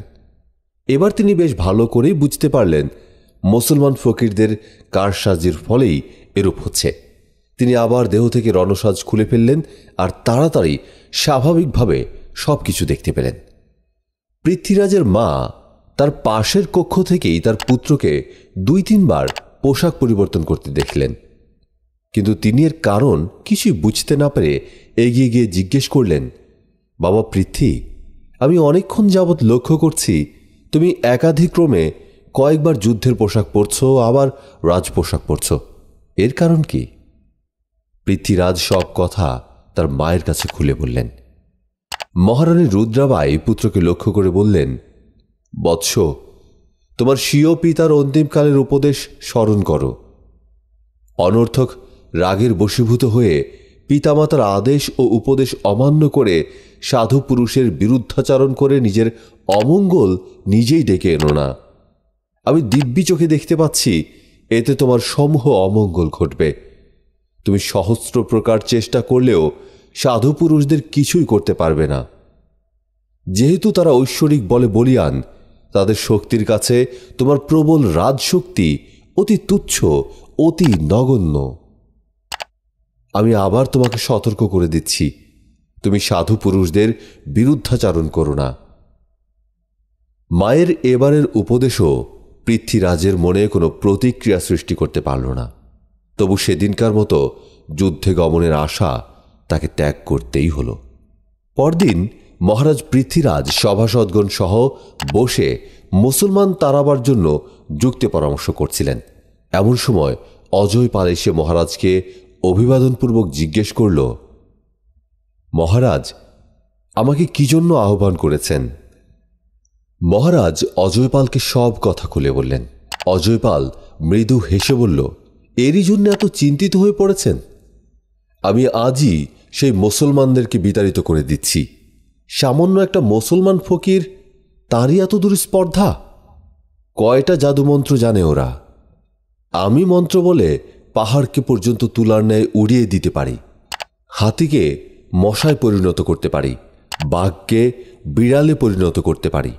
আমি প্রতিজ্ঞা করছি, আজমির রাজ্য থেকে মুসলমান বিতাড়িত না করা পর্যন্ত আমি অন্য জলে স্পর্শ করব না। রাজা পৃথ্বীরাজ অজয়পালের কথায় অনেকটা আশ্বস্ত হলেন। অজয়পাল তখনই চলে গেল আনাসাগরের তীরে ফকিরদের আস্তানার দিকে। আনাসাগরের একটু দূরে একটা বিরাট ময়দান ছিল। অজয়পাল খাজা মঈনুদ্দিন চিস্তি রহমতুল্লা আলহের সামনাসামনি না গিয়ে সেই ময়দানে অবস্থান করে সেখান থেকেই তার ইন্দ্রজাল বিদ্যা প্রয়োগ করতে লাগল। খাজা মঈনুদ্দিন চিস্তি রহমতুল্লা আলহে কাশফের সাহায্যে অন্তর্দৃষ্টি দ্বারা অজয়পালের কার্যকলাপ সবই দেখতে পেলেন।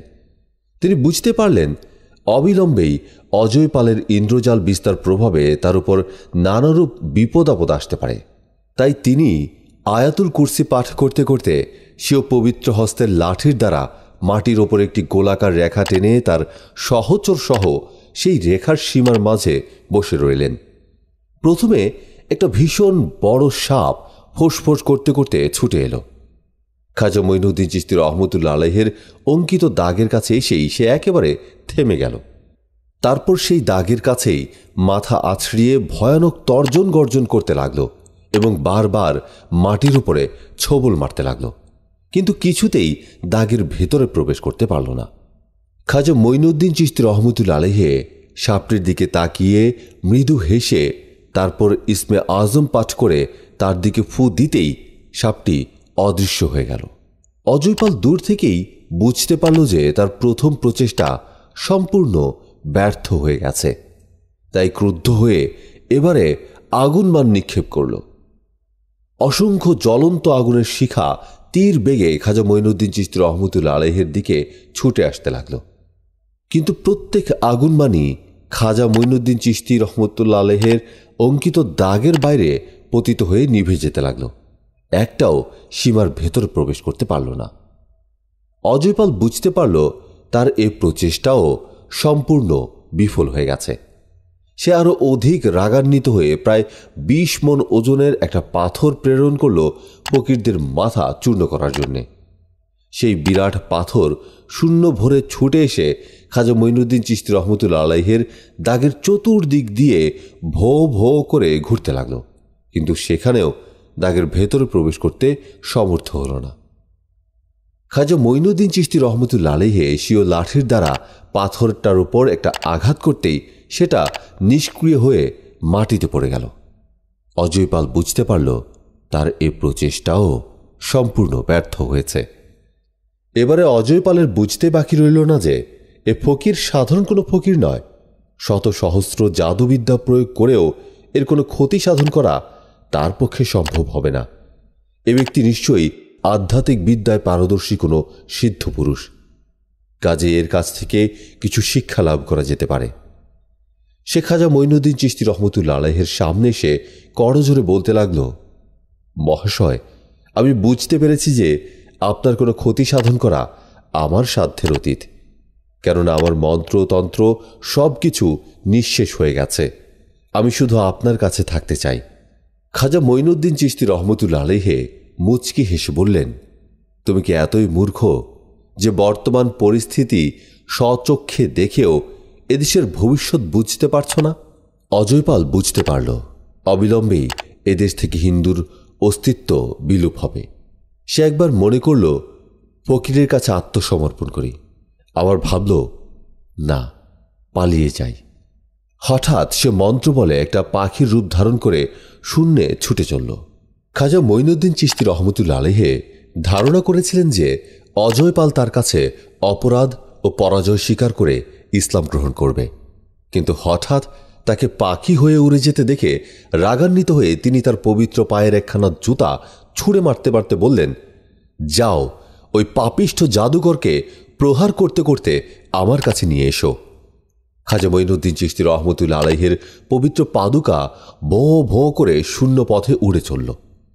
কিছুক্ষণ পর অজয় পাল মানবাকৃতিতেই খাজা মঈনুদ্দিন চিস্তি রহমতুল্লা আলাইহের সামনে এসে হাজির হল। তার গাল ও পিঠে তখনও চটপট করে খাজা মঈনুদ্দিন চিস্তি রহমতুল্লা আলাইহের পাদুকার আঘাত পড়ছিল। সে খাজা মঈনুদ্দিন চিস্তি রহমতুল্লা আলাইহের সামনে করজোরে দাঁড়িয়ে বলল, প্রভু, আমি আপনাকে চিনতে না পেরে আপনার কাছে গুরুতর অপরাধ করেছি। দয়া করে আমার অপরাধ ক্ষমা করুন।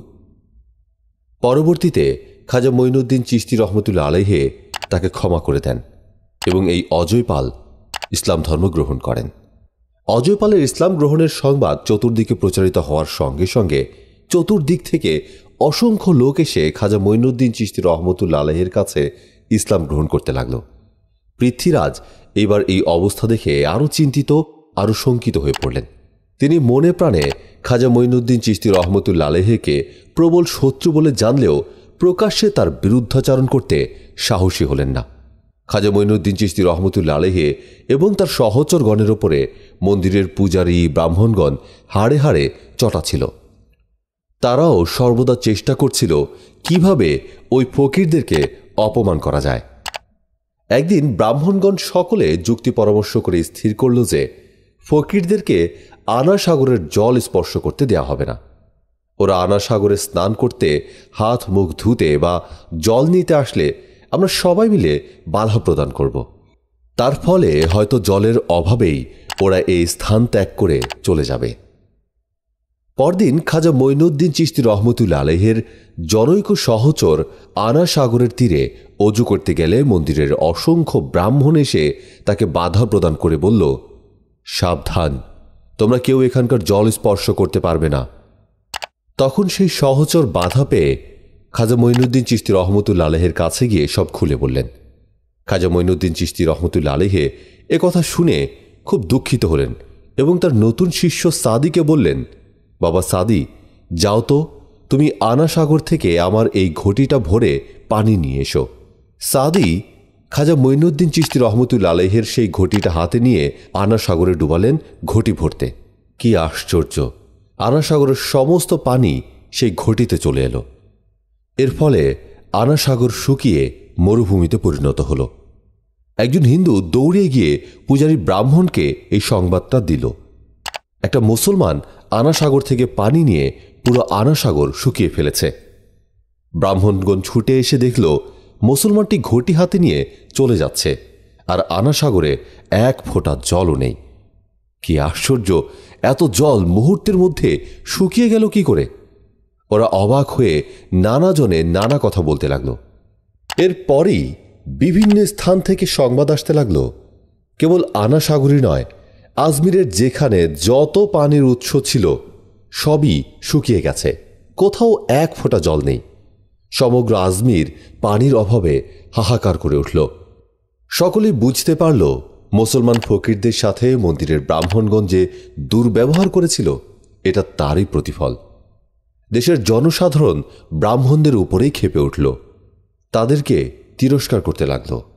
এদিকে সকল ব্রাহ্মণ ঠাকুর একত্রে গিয়ে খাজা মঈনুদ্দিন চিস্তি রহমতুল্লা আলহের সামনে কড় জোরে ক্ষমা চাইলেন।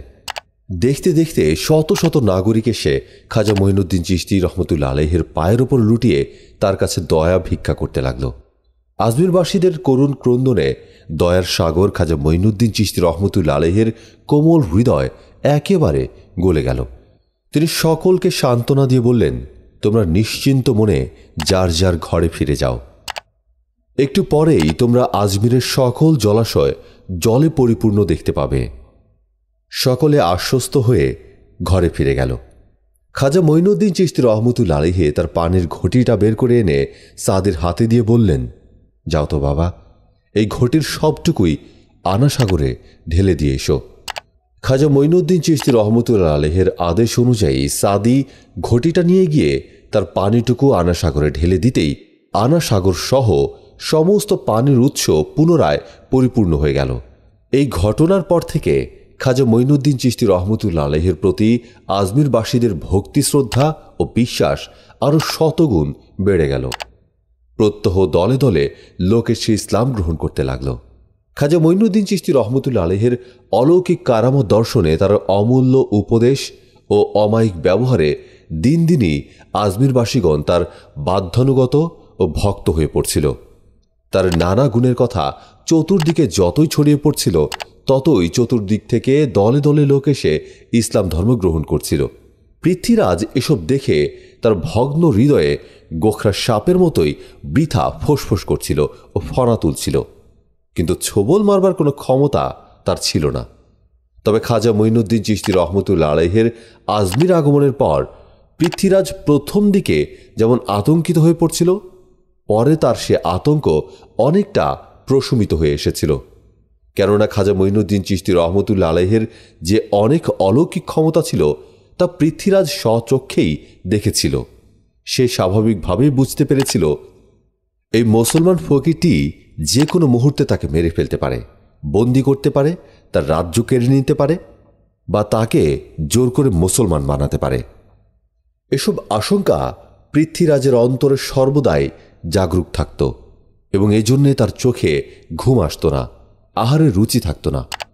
কিন্তু সে যখন দেখল যে খাজা মঈনুদ্দিন চিস্তি রহমতুল্লা আলহে জোর করে একটা হিন্দুকেও মুসলমান বানাচ্ছে না, যারা মুসলমান হচ্ছে তারা স্বেচ্ছাই হচ্ছে, তখন তার অন্তর থেকে পূর্বের ভয় অনেকটা দূর হয়ে গেল। সে একটু নিশ্চিন্ত হল, এভাবেই প্রায় পঁচিশ বছর অতিবাহিত হয়ে গেল। সুদীর্ঘ পঁচিশ বছরের মধ্যে খাজা মঈনুদ্দিন চিস্তি রহমতুল্লা আলহে পৃথ্বীরাজের প্রতি কোনো বল প্রয়োগ করলেন না। তখন পৃথ্বীরাজ ভাবল, প্রজাগণের মধ্যে অনেকে ইসলাম ধর্ম গ্রহণ করলেও আমার নিজের রাজ্য, জীবন ও ধর্ম সম্বন্ধে আর কোনো আশঙ্কার কারণ নেই। আমার উপরে কোনোরূপ বল প্রয়োগ করার তার ইচ্ছা থাকলে এতদিন নিশ্চয়ই সে তা করত? এরূপ ধারণার বশবর্তী হয়ে পৃথ্বীরাজের অন্তর থেকে মুসলিম ভীতি অনেকটা তিরোহিত হয়ে গিয়েছিল এবং তার সাহস অনেকটা বেড়ে গিয়েছিল। ইতিমধ্যেই একদিন খাজা মঈনুদ্দিন চিস্তি রহমতুল্লা আলেহে পৃথ্বীরাজের কাছে ইসলাম গ্রহণের আহ্বান জানিয়ে তার জনৈক প্রতিনিধি প্রেরণ করলেন। খাজা মঈনুদ্দিন চিস্তি রহমতুল্লা আলহের প্রেরিত প্রতিনিধি পৃথ্বীরাজের কাছে গিয়ে তাকে ইসলাম গ্রহণের জন্য অনুরোধ জানালে চির মুসলিম বিদ্বেষী কাফের পৃথ্বীরাজ ক্রোধে একেবারে অগ্নিশর্মা হয়ে খাজা মঈনুদ্দিন চিস্তি রহমতুল্লা আলহের প্রতিনিধিকে যার পর নেই অপমান অপ্রস্তুত করে তাড়িয়ে দিল। সঙ্গে সঙ্গে খাজা মঈনুদ্দিন চিস্তি রহমতুল্লা আলহিকেও জানিয়ে দিল, তুমি সামান্য একজন মুসলমান ফকির হয়ে কোন সাহসে দিল্লি ও আজমিরের মহারাজ পৃথ্বীরাজকে ইসলাম গ্রহণের কথা বলছ? তুমি আমার অসংখ্য প্রজাকে ধর্মান্তরিত করা সত্ত্বেও এতদিন পর্যন্ত আমি নীরবে তোমার সেসব অন্যায় সহ্য করেছি বলেই কি তোমার সাহস এতদূর পর্যন্ত বেড়ে গেছে? কিন্তু আমি তোমাকে সতর্ক করে দিচ্ছি। তুমি ভবিষ্যতে আর কখনো এরূপ কথা বললে আমি তোমাকে বিন্দু মাত্র খাতির করব না। তুমি স্মরণ রেখো, এটা হিন্দুর দেশ ও হিন্দু রাজ্য। পৃথ্বীরাজ বর্তমান থাকতে কারও সাধ্য নেই এই রাজ্যের ওপর কোনো মুসলমান তার প্রভাব বিস্তার করে। ইসলাম ধর্ম গ্রহণ করা তো দূরের কথা। ইসলাম ও মুসলমানকে আমি কুকুর অপেক্ষাও অধিক ঘৃণা করি। রাজা পৃথ্বীরাজের ঔদ্যতপূর্ণ আচরণে খাজা মঈনুদ্দিন চিস্তি রহমতুল আলেহে অত্যন্ত দুঃখিত হলেন। তিনি মহাপাপীকে শাস্তি প্রদানের উদ্দেশ্যে আল্লাহ পাকের কাছে হাত তুলে মোনাজাত করলেন। হে সর্বশক্তিমান আল্লাহ, আপনি এই গর্বিত রাজার গর্বচূর্ণ করুন।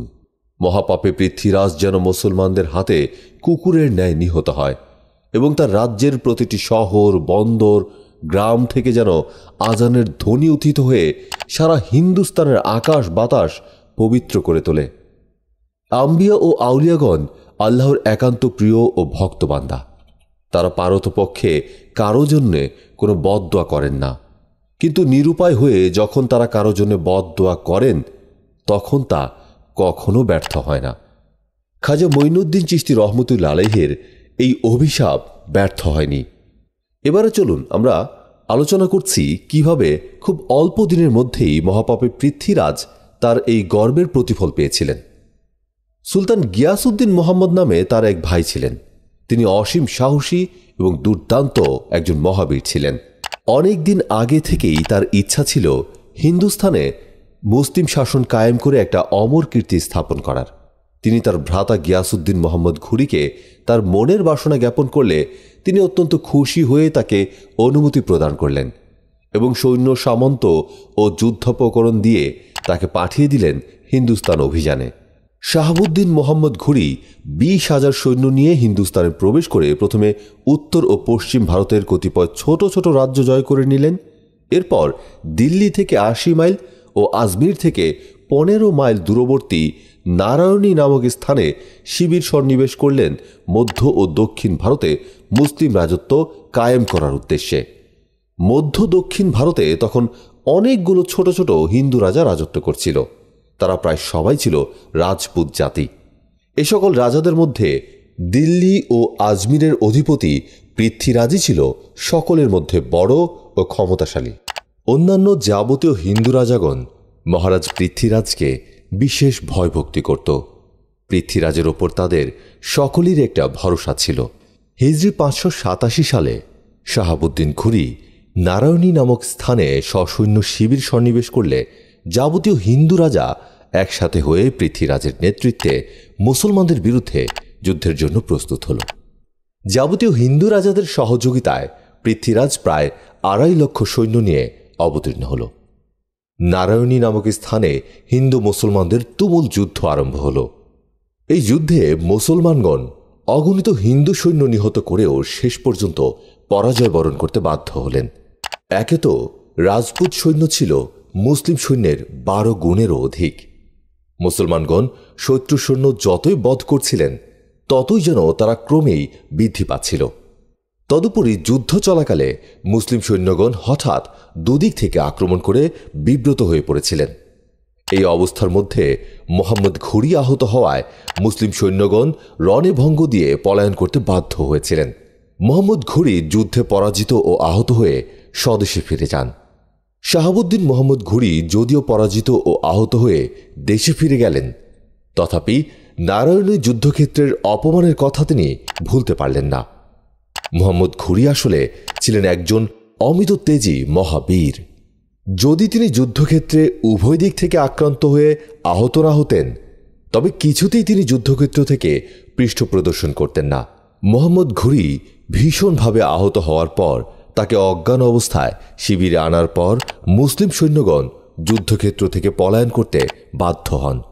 এই যুদ্ধে পরাজিত হয়ে তিনি লজ্জায়, ঘৃণায় ও অপমানে একেবারে মৃতপ্রায় হয়ে গিয়েছিলেন। আহত অবস্থায় একটু চৈতন্য লাভের পর তিনি সৈন্যদেরকে তিরস্কার করে বলেছিলেন, কেন তোমরা যুদ্ধক্ষেত্র থেকে পলায়ন করলে? কেন তোমরা শাহাদাত বরণ করলে না? তোমরা কি মুসলিম নও? কেন তোমরা কাপুরুষের মতো যুদ্ধক্ষেত্র থেকে পলায়ন করে মুসলমান জাতির নামে কলঙ্ক কালিপাল্যপন করলে? যা হোক, দেশে ফিরে একটু সুস্থ হয়েই তিনি পুনরায় যুদ্ধের জন্য প্রস্তুত হতে লাগলেন। এ সময় খাজা মঈনুদ্দিন চিস্তি রহমতুল আলহে আজমিরেই ছিলেন। নারায়ণী যুদ্ধের পূর্ব পর্যন্ত পৃথ্বীরাজ নানা কারণে খাজা মঈনুদ্দিন চিস্তি রহমতুল আলহের প্রতি কোনরূপ দুর্ব্যবহার করতে সাহস পাননি। কিন্তু ওই যুদ্ধে জয়লাভ করার পর থেকেই তার সাহস শতগুণে বেড়ে যায়। এই সময়েই সে খাজা মঈনুদ্দিন চিস্তি রহমতুল আলহের প্রতি নানা অপমানজনক বাক্য প্রয়োগ করে এবং নব মুসলিমদের ওপরেও ভীষণ নির্যাতন চালাতে থাকে। অত্যাচার অতিষ্ঠ হয়েই খাজা মঈনুদ্দিন চিস্তি রহমতুল্লা আলহে পৃথ্বীরাজকে অভিশাপ দিতে বাধ্য হয়েছিলেন। নারণী যুদ্ধের পরের বছর হিজড়ি পাঁচশো আটাশি সালে শাহাবুদ্দিন মোহাম্মদ ঘুরি প্রায় এক লক্ষ সৈন্য নিয়ে পুনরায় হিন্দুস্থান অভিযানে এসে তিরোধি নামক স্থানে শিবির সন্নিবেশ করলেন। কথিত আছে যে, এই যুদ্ধে আগমনের পূর্বে শাহাবুদ্দিন মোহাম্মদ ঘুরি স্বপ্নযোগে পুনরায় পৃথ্বীরাজের বিরুদ্ধে জেহাদে অবতীর্ণ হওয়ার আদেশপ্রাপ্ত হয়েছিলেন। যেদিন খাজা মঈনুদ্দিন চিস্তি রহমতুল্লা আলিহে পৃথ্বীরাজের ধ্বংসের জন্য মোনাজাত করেছিলেন, ঠিক সেই রাত্রেই শাহাবুদ্দিন মোহাম্মদ খুরি স্বপ্নে দেখলেন, শুভ্র বস্ত্র পরিহিত, শুভ্র দাড়ি বিশিষ্ট জনৈক্য নুরানি চেহারার বুজুর্গ ব্যক্তি তাকে সম্বোধন করে বলছেন, হে শাহাবুদ্দিন, ওঠো। হিন্দুস্থানে অভিযান করে পাপিষ্ঠ পৃথ্বীরাজকে সদুচিত শিক্ষা প্রদান করে হিন্দুস্থানের মুসলিম রাজত্ব কায়েম করো। তোমাকে সমগ্র হিন্দুস্থানের সুলতানাত অর্পণ করা হলো। শাহাবুদ্দিন মোহাম্মদ ঘুরি স্বপ্ন দেখার পর আর বিলম্ব না করে হিন্দুস্থান অভিযানে রওনা হয়েছিলেন। তিরোধী ময়দানে শিবির সন্নিবেশ করে তিনি স্বয়ং খাজা মঈনুদ্দিন চিস্তি রহমতুল আলহির সাথে সাক্ষাৎ করে আজমিরে গিয়ে দেখতে পেলেন যে, যিনি তাকে স্বপ্নযোগে হিন্দুস্তান অভিযানের জন্য আহ্বান করেছিলেন, তিনি এই খাজা মঈনুদ্দিন চিস্তি রহমতুল আলিহে খাজা মঈনুদ্দিন চিস্তি রহমতুল আলিহে মোহাম্মদ ঘুরির মাথায় হাত বুলিয়ে দোয়া করে তাকে বিদায় দিলেন। আজমির থেকে শিবিরে ফিরে এসে শাহাবুদ্দিন মোহাম্মদ ঘুরি পৃথ্বীরাজকে একটা চিঠি লিখলেন। আজমির ও দিল্লির অধিপতি মহারাজ পৃথ্বীরাজ, এত দ্বারা আপনাকে জানানো যাচ্ছে যে আমি পুনরায় হিন্দুস্তান বিজয়ের উদ্দেশ্যে এসে তিরোধী ময়দানে শিবির সন্নিবেশ করেছি। যদি আপনি আজমির ও দিল্লির সিংহাসন রক্ষা করতে চান এবং যদি আপনার কিছুমাত্র প্রাণের মমতা থাকে তবে অবিলম্বে আফগানিস্তানের অধীনতা স্বীকার করে আমার কাছে আত্মসমর্পণ করুন। অন্যথায় আপনাদের রক্তে তিরোধিক্ষেত্র প্লাবিত হবে। স্মরণ রাখবেন, গতবারের যুদ্ধে দৈব অনুগ্রহে আপনি বেঁচে গেলেও এবার কিছুতেই আপনার রক্ষা নেই। ইতি শাহাবুদ্দিন মোহাম্মদ খুরি। নারায়ণীর যুদ্ধে জয়লাভ করে পৃথ্বীরাজ অহংকারে একেবারে উন্মত্ত হয়ে উঠেছিল। তাই মোহাম্মদ ঘুরির পত্র পাঠ করে একেবারে তেলে বেগুনে জ্বলে ওঠে তার প্রধান সেনাপতি সংগ্রাম সিংহকে অবিলম্বে যুদ্ধের জন্য প্রস্তুত হতে আদেশ দিল এবং যাবতীয় হিন্দু রাজাদেরকে সংবাদ দিল অবিলম্বে সসৈন্যে এসে যুদ্ধে যোগদান করবার জন্যে। এই যুদ্ধে পাক ভারতের দেড়শত হিন্দু রাজা পৃথ্বীরাজের পক্ষে যোগদান করেছিলেন। তাদের সর্বমোট তিন লক্ষ সৈন্য ও তিন হাজার হাতি যুদ্ধে অবতীর্ণ হয়েছিল। আর মুসলিম সৈন্যদের সংখ্যা ছিল তাদের এক তৃতীয়াংশ মাত্র। যদিও আল্লাহ সোহানা তালার অসীম রহমত ও খাজা মঈনুদ্দিন চিস্তি রহমতুল আলেহের দোয়ার বরকতে এই যুদ্ধে পাক ভারতের হিন্দু রাজশক্তি একেবারে চূর্ণ বিচূর্ণ হয়ে গেল। পাপাত্তা পৃথ্বীরাজ যুদ্ধক্ষেত্র থেকে পালানোর চেষ্টা করলে তাকে ধরে শাহাবুদ্দিন মোহাম্মদ ঘুরির দরবারে আনা হলো। মোহাম্মদ ঘুরির আদেশে পৃথ্বীরাজকে হত্যা করা হলো। পৃথ্বীরাজের ভ্রাতা খাড়া রায় যুদ্ধক্ষেত্রেই নিহত হয়েছিল। দিল্লি ও আজমিরের দুর্গে ইসলামের অর্ধচন্দ্রখচিত বিজয় পতাকা উদ্দিন হল। মোহাম্মদ ঘুরি দিল্লি জয় করে আজমিরে গমন করলেন। তিনি আজমিরে প্রবেশ করে প্রথমেই খাজা মঈনুদ্দিন চিস্তি রহমতুল আলহের সাথে সাক্ষাৎ করে এরপর আজমিরের রাজপ্রাসাদে প্রবেশ করলেন। মোহাম্মদ ঘুরি হিন্দুস্থান বিজয়ের পর অল্প কিছুদিন পাক ভারতে অবস্থান করেছিলেন। এরপর কুতুবুদ্দিন আইবেক নামক তার জনৈক বিশ্বস্ত ও যোগ্য সহচরের হাতে পাক ভারতের শাসনভার অর্পণ করে তিনি স্বদেশ চলে যান। দিল্লি ও আজমিরে মুসলিম শাসন কায়েম হওয়ার পর খাজা মঈনুদ্দিন চিস্তি রহমতুল্লা আলহে মাঝে মাঝেই দিল্লি আসতে থাকেন এবং দিল্লির অগণিত হিন্দু তার কাছে দলে দলে ইসলাম গ্রহণ করতে থাকেন।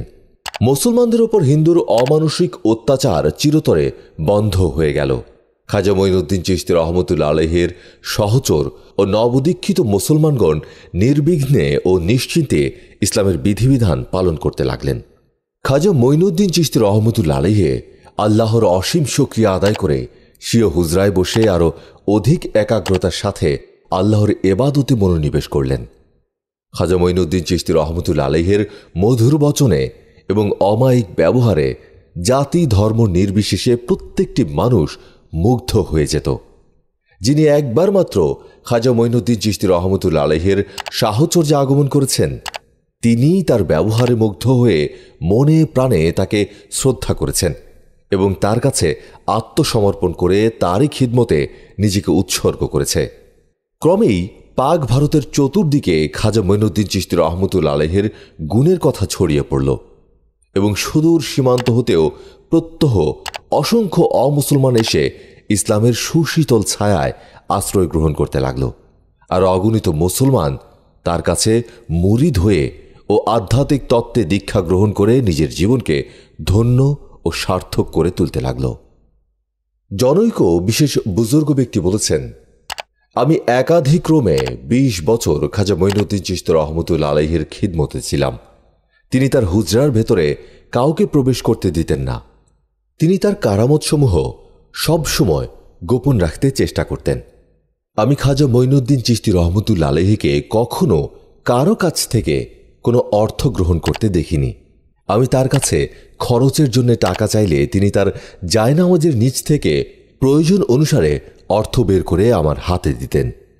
হজরত রসুল করিম সাল্লাহু আলি সাল্লামের ইন্তেকালের পর পরম করুণাময় আল্লাহ তালা ভ্রান্ত মানবদেরকে সৎপথ প্রদর্শনের জন্য দুনিয়ার বিভিন্ন স্থানে যে সকল আউলিয়া, গাউস, কুতুব ও সুফি দরবেশদেরকে প্রেরণ করেছিলেন।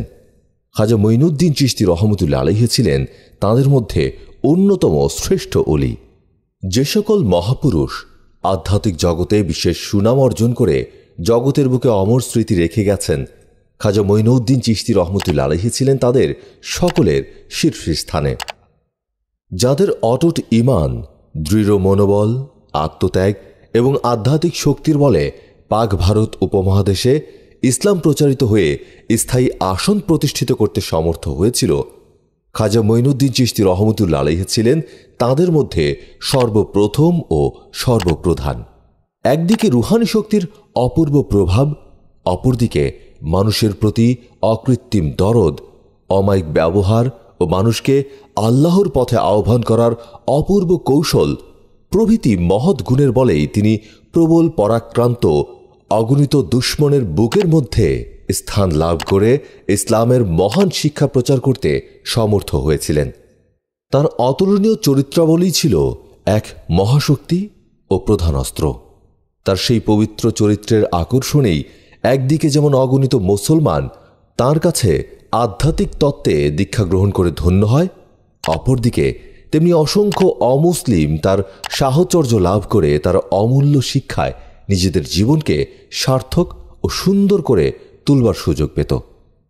হজরত রসুলে পাক সাল্লাহ আলী সাল্লামের আবির্ভাবের পূর্বে আরবের অবস্থা যেরূপ ছিল, খাজে মঈনুদ্দিন চিস্তি সাহেবের আগমনের পূর্বে পাক ভারতের অবস্থা ঠিক সেই রূপ ছিল।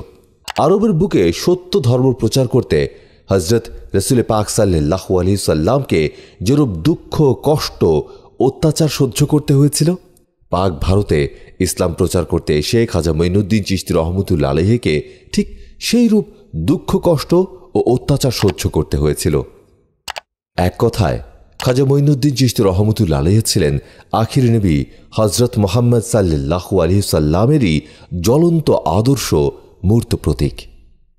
তিনি বুঝতে পেরেছিলেন, জগতের ভ্রান্ত মানবকে সৎপথ প্রদর্শন করে তাদের মধ্যে আল্লাহ ও রসুলের অমূল্য বাণী প্রচার এবং মানব জাতির সেবার মধ্যেই রয়েছে আল্লাহ ও রসুলের সন্তুষ্টি। তাই তিনি পদে পদে বহু বাধা বিপত্তি ও বিপদ আপদের সম্মুখীন হওয়া সত্ত্বেও তার কর্তব্য পথ থেকে বিন্দুমাত্র পিছপা হননি। আল্লাহর নৈকট্য ও রসুলের প্রেম লাভই ছিল তার জীবনের মুখ্য উদ্দেশ্য। সেই উদ্দেশ্যকে সামনে রেখেই তিনি সম্পূর্ণ রিক্ত হস্তে সুদূর আরব থেকে সুদীর্ঘ, দুর্গম পথ অতিক্রম করে পাক ভারতে আগমন করেছিলেন মানব জাতির সেবার ব্রত নিয়ে। সমগ্র পাক ভারত যখন শিরক ও কুফরির ঘোর অন্ধকারে আচ্ছন্ন ছিল, তখন তিনি সর্বপ্রথম এদেশে আগমন করেছিলেন পথভ্রান্ত মানবদেরকে সৎ পথের সন্ধান দিতে।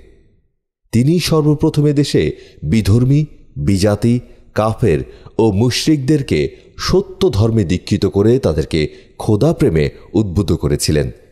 এজন্য পাক ভারতের প্রতিটি মুসলমান খাজা মঈনুদ্দিন চিস্তি রহমতুল্লা আলহের কাছে ঋণী। সংসারের প্রতি তার কোনো আসক্তি ছিল না। কোনরূপ বিলাসের লিপসা কোনোদিন তার হৃদয়ে স্পর্শ করেনি। তিনি ছিলেন তৎকালীন একজন শ্রেষ্ঠ সংসার ত্যাগী ফকির। খাজা মঈনুদ্দিন চিস্তি রহমতুল্লা আলাইহি ছিলেন অত্যন্ত অমায়িক চরিত্রের লোক। দয়া, সহিষ্ণুতা, ক্ষমা, উদারতা এবং বাৎসল্য গুণে তার অন্তর ছিল পরিপূর্ণ। কোনরূপ গোড়ামি তার ভেতর ছিল না। সেজন্যেই জাতি ধর্ম নির্বিশেষে সকলেই তার সাহচর্যে আসার সঙ্গে সঙ্গে তার প্রতি আকৃষ্ট হয়ে পড়ত এবং সকলেই তাকে আন্তরিক ভক্তি শ্রদ্ধা করত। তিনি অত্যন্ত সাধাসিধে ধরনের পোশাক পরিধান করতেন। পোশাক পরিচ্ছদে তার কোনরূপ জাঁকজমক ছিল না। তবে পরিষ্কার পরিচ্ছন্নতার দিকে সর্বদা কড়া নজর ছিল। তাকে কখনো মলিন বস্ত্র পরিধান করতে দেখা যায়নি। তিনি সহজতেই জামা কাপড় পরিষ্কার করতেন এবং জামা কাপড় ছিঁড়ে গেলে নিজেই তা সেলাই করে নিতেন। তিনি সচরাচর সাদা রুটি পানিতে ভিজিয়ে রেখে আহার করতেন। আহারের জন্য কখনোই তার ভেতরে কোনরূপ ব্যস্ততা দেখা যায়নি। তিনি প্রায় প্রত্যেক দিনই রোজা রাখতেন এবং সন্ধ্যার সময় শুধু রুটির দ্বারাই ইফতার করতেন। শেষ রাতে কদাচিৎ আহার করতেন। প্রায়ই শুধু পানি পান করে পরবর্তী দিনের জন্য রোজার নিয়ত করতেন। প্রায় সারা রাত তিনি আল্লাহর এবাদতে কাটিয়ে দিতেন। সাধারণত জোহরের নামাজের পর থেকে আসরের নামাজের পূর্ব পর্যন্ত সময়টুকু তিনি ঘুমাতেন। এশার নামাজের জন্যে অজু করে সারা রাত এবাদতে অতিবাহিত করার পর সেই অজুতেই তিনি ফজরের নামাজ পড়তেন। এজন্যে তাকে কায়েমুল লাইলি ওয়া সায়েমুদ দাহার, অর্থাৎ সারা রাত্রি জাগরণকারী ও সর্বদা রোজাদার বলা হতো। সব সময় তিনি আল্লাহর জিকিরে অতিবাহিত করতেন এবং কখনো কখনো গভীর ধ্যানে নিমগ্ন হয়ে যেতেন। যখন তিনি ধ্যানে নিমগ্ন হতেন, তখন পার্থিব জগতের সাথে তার কোনো সম্পর্ক থাকত না। বাহ্যিক জ্ঞান সম্পূর্ণ বিলুপ্ত হয়ে যেত। তাকে ডাকলেও কোনরূপ সাড়া পাওয়া যেত না। তার অন্তর ছিল অসীম দয়ায় পরিপূর্ণ। কারও কোনরূপ দুঃখ বা বিপদ দেখলে তার অন্তর একেবারে বিগলিত হয়ে যেত। যে পর্যন্ত তিনি তার বিপদ বা দুঃখ দূর করতে না পারতেন, সে পর্যন্ত কিছুতেই মনে শান্তি পেতেন না। কোনোদিন তার মুখে কেউ বিন্দুমাত্র ক্রোধের চিহ্ন দেখতে পায়নি। তিনি প্রত্যেকের সাথে হাসি মুখে আলাপ করতেন। তার সদা হাস্যমুখ সকলেরই শ্রদ্ধা আকর্ষণ করত। খাজা মঈনুদ্দিন চিস্তি রহমতুল্লা আলহের সময়েই সামা প্রচলন শুরু হয়। সামা আরবি ভাষায় রচিত আল্লাহ তালার প্রশংসামূলক গজল। খাজা মঈনুদ্দিন চিস্তি রহমতুল্লা আলহে নিজেই এসব ভক্তিমূলক গজল রচনা করতেন এবং পাঠ করতেন। কখনো কখনো তিনি আল্লাহর প্রেমে এতই উন্মত্ত হয়ে পড়তেন যে, তখন তিনি ধৈর্য ধারণ করতে না পেরে উচ্চস্বরে সামা পাঠ করতেন এবং তাতে প্রাণে শান্তি পেতেন। পাক ভারতের সর্বত্র এখনও অনেক সামার মজলিস অনুষ্ঠিত হয়ে থাকে এবং সেসব মজলিসে অজু করে পাক পবিত্র অবস্থায় অত্যন্ত ভক্তির সাথে সামা পাঠ ও শ্রবণ করা হয়। গজল পাঠকারী ও শ্রবণকারীগণ ভক্তিতে আত্মহারা হয়ে অনেক সময় ভাবে তন্ময় হয়ে পড়েন। খাজা মঈনুদ্দিন চিস্তি রহমতুল্লা আলহিকেই এসব গজলের প্রবর্তক বলে মনে করা হয়ে থাকে। বর্তমানকালে কাওয়ালি নামক জলসাসমূহ এই সামারই অন্তর্ভুক্ত।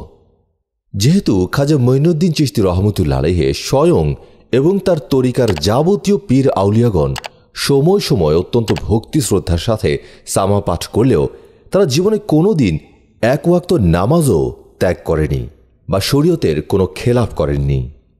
খাজা মঈনুদ্দিন চিস্তি রহমতুল্লা আলহে একদিকে বহু দেশ ভ্রমণ করে পার্থিব জীবন সম্বন্ধে বহু অভিজ্ঞতা সঞ্চয় করেছিলেন।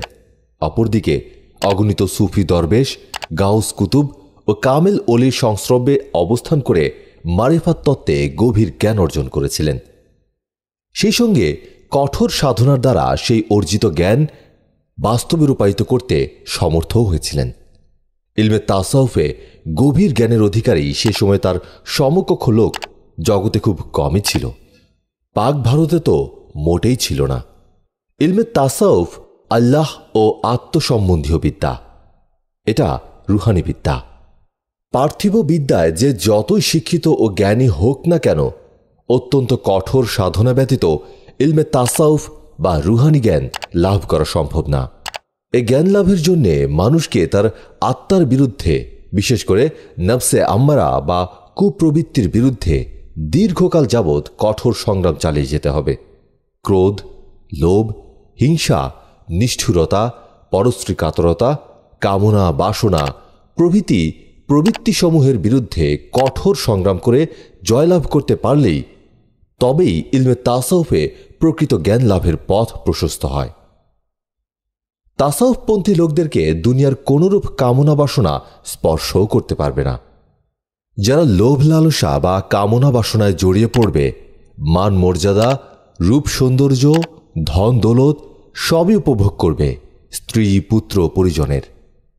মোহমায়ায় আবদ্ধ হয়ে থাকবে, অথচ মারিফাত বা দরবেশির দাবি করবে।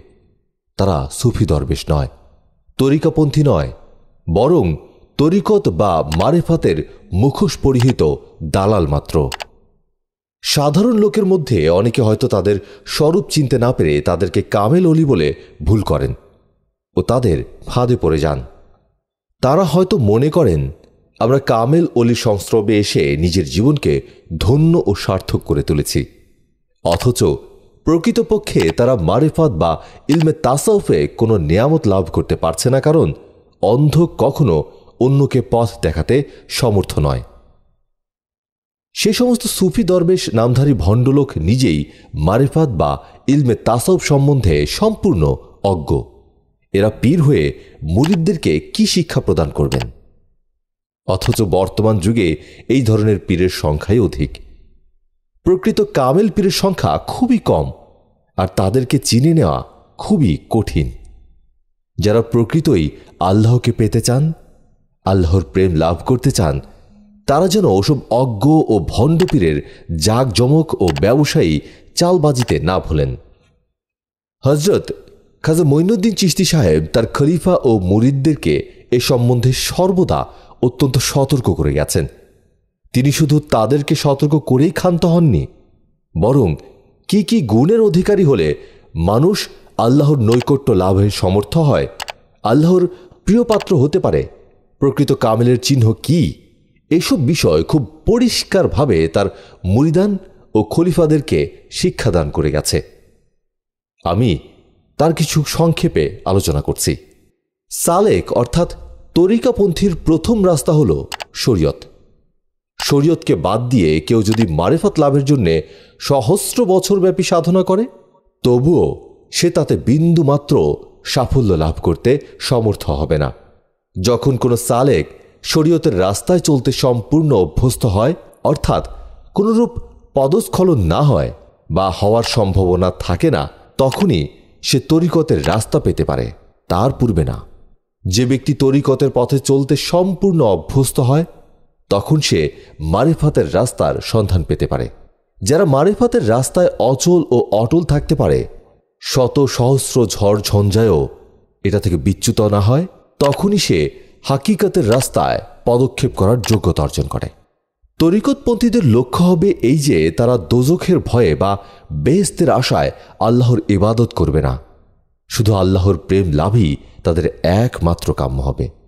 একদিন হজরত রাবিয়া বসরি রহমতুল্লা আলহে ঠিক এই বিষয়ে উপদেশ দিতে গিয়ে একখানা লাঠির উভয় দিকে কতগুলো ন্যাকড়া জড়িয়ে সেটাতে তৈলসিক্ত করে লাঠির উভয় দিকে আগুন জ্বেলে দিলেন। লোকে তাকে জিজ্ঞেস করল, এটা কি করলেন? এই আগুন দিয়ে কি করবেন? তিনি উত্তর করলেন, একদিকের আগুন দিয়ে বেহেস্ত পুড়িয়ে ফেলব আর অপর দিকের আগুন দিয়ে দোজখ পুড়িয়ে ফেলব। লোকে জিজ্ঞেস করল, তাতে কি লাভ হবে? তিনি উত্তর করলেন, কিছু লোক দোজখের ভয়ে আল্লাহর বন্দিকি করে? তারা ভীরু, তারা আল্লাহর প্রকৃত বান্দা না। যেহেতু দোজখ না থাকলে তারা আল্লাহর ইবাদত করত না। আর কিছু লোক বেহেস্তের আশায় আল্লাহর ইবাদত করে থাকে। তারা লোভী, তারাও আল্লাহর প্রকৃত প্রেমিক বান্দা না। আর বেহেস্ত ও দোজখ পুড়িয়ে ফেলা হলে কিছু সংখ্যক লোক আল্লাহর এবাদত বন্দি করবেই। তখন বুঝতে পারব যে তারা আল্লাহর প্রকৃত প্রেমিক। তারা আল্লাহকেই পেতে চায়। কেয়ামতের দিন কতগুলো খোদা প্রেমিককে বেহেস্ত দান করা হলে তারা বলবে, হে আল্লাহ, যারা বেহেস্তের আশায় আপনার ইবাদত করেছে, আপনি তাদেরকে বেহেস্ত দান করুন। কিন্তু যার প্রতি আপনি স্বয়ং সন্তুষ্ট, তার বেহেস্তে কি প্রয়োজন? কোনো কোনো মাসায়েখের মতে, তরিকতের দরজা একশোটি, তন্মধ্যে সত্তরতম দরজা হল কাশফ ও কারামাত। সুতরাং তরিকতের ঊনসত্তরটি দরজা অতিক্রম করার পূর্বে কেউ যদি কাশফ ও কারামতের দাবি করে, তবে বুঝতে হবে তার দাবি মিথ্যা। অবশ্য চিস্তিয়া তরিকা মোতাবেক তরিকতের দরজা পনেরোটা মাত্র। তন্মধ্যে পঞ্চম দরজা হচ্ছে কাশফ ও কারামাত। অত্যন্ত কঠোর সাধনার দ্বারা চারটি দরজা অতিক্রম করে তবে পঞ্চম দরজায় উপনীত হতে হয়। এ পথে অগ্রসর হতে হলে দুনিয়ার যাবতীয় ভোগ্য বস্তুকে ত্যাগ করতেই হবে। অধিকন্তু, নিজের অস্তিত্বের কথা পর্যন্ত ভুলে যেতে হবে। খাজা মঈনুদ্দিন চিস্তি রহমতুল্লা আলহি বলেছেন হজরত জুনাইদ বাগদাদিকে একবার লোকে জিজ্ঞেস করেছিল আপনি কেন আল্লাহর দিদার লাভের কামনা করেন না? আপনি আল্লাহর কাছে প্রার্থনা করলে নিশ্চয়ই তিনি আপনাকে তার দিদার লাভের সৌভাগ্য প্রদান করবেন। তারপরে হজরত জুনাইদ বাগদাদি রহমতুল্লা আলহি বলেছিলেন, আমি সেরূপ প্রার্থনা করা নিরর্থক বলে মনে করি, কেননা হজরত মুসা আলিহি সাল্লাম আল্লাহর দিদার লাভের জন্য প্রার্থনা করে তা পাননি। অথচ হজরত রসুল করিম সাল্লাহ আলিয়াল্লাম প্রার্থনা না করেও সেটা লাভ করেছিলেন। সুতরাং বান্দার প্রার্থনার কি মূল্য আছে? তিনি যদি কোনো ব্যক্তিকে উপযুক্ত বলে মনে করেন, তবে তিনি নিজে ইচ্ছা করেই তার বান্দার মধ্যস্থিত পর্দা উঠিয়ে দেবেন। আমি আমার পীর খাজা ওসমান হারুনের কাছে শুনেছি, দুনিয়াতে আল্লাহর এমন দোস্ত লোকও রয়েছে যে, যদি আল্লাহ তাদের সামনে পর্দা উঠিয়ে নেন, তবে তারা সেই মুহূর্তেই ফানা হয়ে যাবে। যে ব্যক্তি সর্বদা প্রেমের সাগরে নিমগ্ন থাকে, তাকেই আরেফ বলা যায়। সে সর্বদা আল্লাহর কুদরতের কথাই চিন্তা করে। যখন সে দাঁড়ায়, তখন সে তার মাহবুবের কথা চিন্তা করে। যখন সে বসে বসে, তখনও সে তার মাহবুবের চিন্তায় বিভোর থাকে। আবার যখন শয়ন করে, তখনও মাহবুবের চিন্তা তার অন্তর থেকে অন্তর্নিহিত হয় না। যখন সে নিদ্রা থেকে জাগরিত হয়, তখন সে মাহবুবের পর্দার চতুর্দিকে তোয়াপ করতে থাকে। আরেক ব্যক্তির মুখে আল্লাহর জিকর ব্যতীত অন্য কিছুই উচ্চারিত হয় না। আল্লাহর মহব্বতে সে দুনিয়ার প্রত্যেক বস্তুর প্রতি বিমুখ হয়। এটা আরেফের জীবনের একটা নিম্ন স্তরের কথা। আরেফ লোকের আরও একটা বৈশিষ্ট্য এই যে, তারা সর্বদা চুপ করে থাকেন ও চিন্তা করেন। আরেফগণের কাছে এমন একটা জগৎ আছে, তা সাধারণ জ্ঞানের বহির্ভূত। আরেফগণ সে জগতে বিশ্বের সব কিছু স্বীয় দুটি আঙ্গুলির ফাঁকের ভেতরেই দেখতে পান। তিনিই প্রকৃত আরেফ যিনি যা কিছু চান, তা তার সামনে এসে হাজির হয়। যা কিছু জানতে চান, গায়েব থেকে তার উত্তর পান। আরেফের নিম্নতম চিহ্ন এই যে, তার ভেতরে আল্লাহর স্বীয় গুণসমূহ পরিস্ফুটিত হয়। আরেফ লোকের একটি নিঃশ্বাসও আল্লাহর জিকর থেকে খালি নয়। সে তার প্রত্যেকটি নিঃশ্বাসের প্রতি লক্ষ্য রাখে এবং তা ব্যর্থ হতে দেয় না। আরেফ লোকের আরও একটি চিহ্ন এই যে, অন্তর সর্বদা খোদার ভয়ে ভীত থাকবে, তাই তার মুখে অনর্থক হাসি ফুটবে না। হাসি ঠাট্টা ও বাজে গল্প করে এক মুহূর্ত সময়ও সে নষ্ট করতে রাজি হবে না। এ সম্বন্ধে খাজা মঈনুদ্দিন চিস্তি রহমতুল্লা আলহি বলেছেন হজরত রসুল পাক সাল্লাহ আলিয়াল্লাম একদিন কতিপয় লোককে হাসি ঠাট্টায় লিপ্ত দেখতে পেয়ে সেখানে দাঁড়ালেন। লোকগুলো উঠে তাকে সালাম করল। তিনি সালামের জবাব দিয়ে বললেন, তোমরা কি মৃত্যুর কথা ভুলে গেছ? লোকগুলো উত্তর করল, ইয়া রসুল্লাহ সাল্লাহ আলহিসাল্লাম আমরা মৃত্যুর কথা ভুলে যাইনি। তিনি আবার জিজ্ঞেস করলেন, তোমরা কি নিজেদের আমল নামার কথা ভুলে গিয়েছ? লোকগুলো উত্তর করল, না হুজুর, ভুলে যায়নি হজরত রসুল্লাহ সাল্লাহ আলহিসাল্লাম পুনরায় জিজ্ঞেস করলেন, তোমরা কি পুলসেরাত পার হয়ে গিয়েছ? তারা বলল, না হুজুর, আমরা পুলসেরাতও পার হইনি। তখন হজরত তাদেরকে বললেন, তবে কোন সাহসে তোমরা হাসি ঠাট্টায় লিপ্ত হয়েছ? তোমরা কি জানো না যে দুনিয়াতে যে যত বেশি হাসবে, আখেরাতে সে তত বেশি কাঁদবে, আর দুনিয়াতে মৃত্যু, কবর ও পুলসেরাতের কথা স্মরণ করে যে যত বেশি কাঁদবে, আখেরাতে সে তত বেশি নিশ্চিন্ত ও আনন্দিত হবে। আরেফের পরিচয় হল, সে আল্লাহর সৃষ্টি থেকে সম্পূর্ণ পৃথক থাকবে এবং নিজের অস্তিত্বকে পর্যন্ত ভুলে যাবে।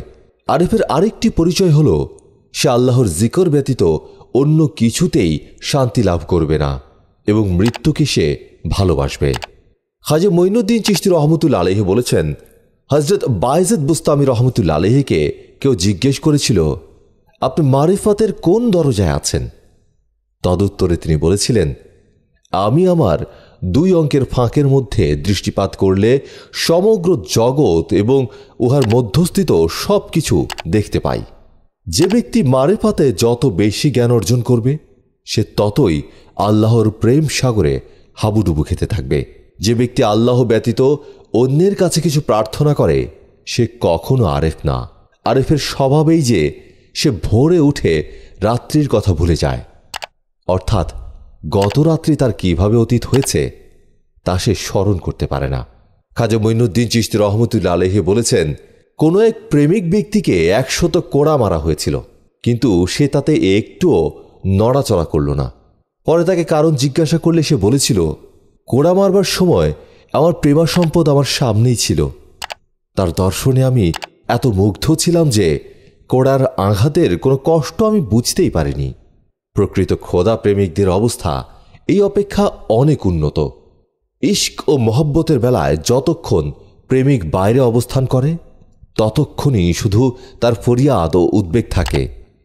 আর যখন মিলন হয়, তখন কোনো কষ্টই আর তাকে কষ্ট দিতে পারে না। আরিফগণ সর্বদা আল্লাহকে হাজের ও নাজের জানেন, তাই তারা সকল দুঃখ কষ্টের ঊর্ধ্বে।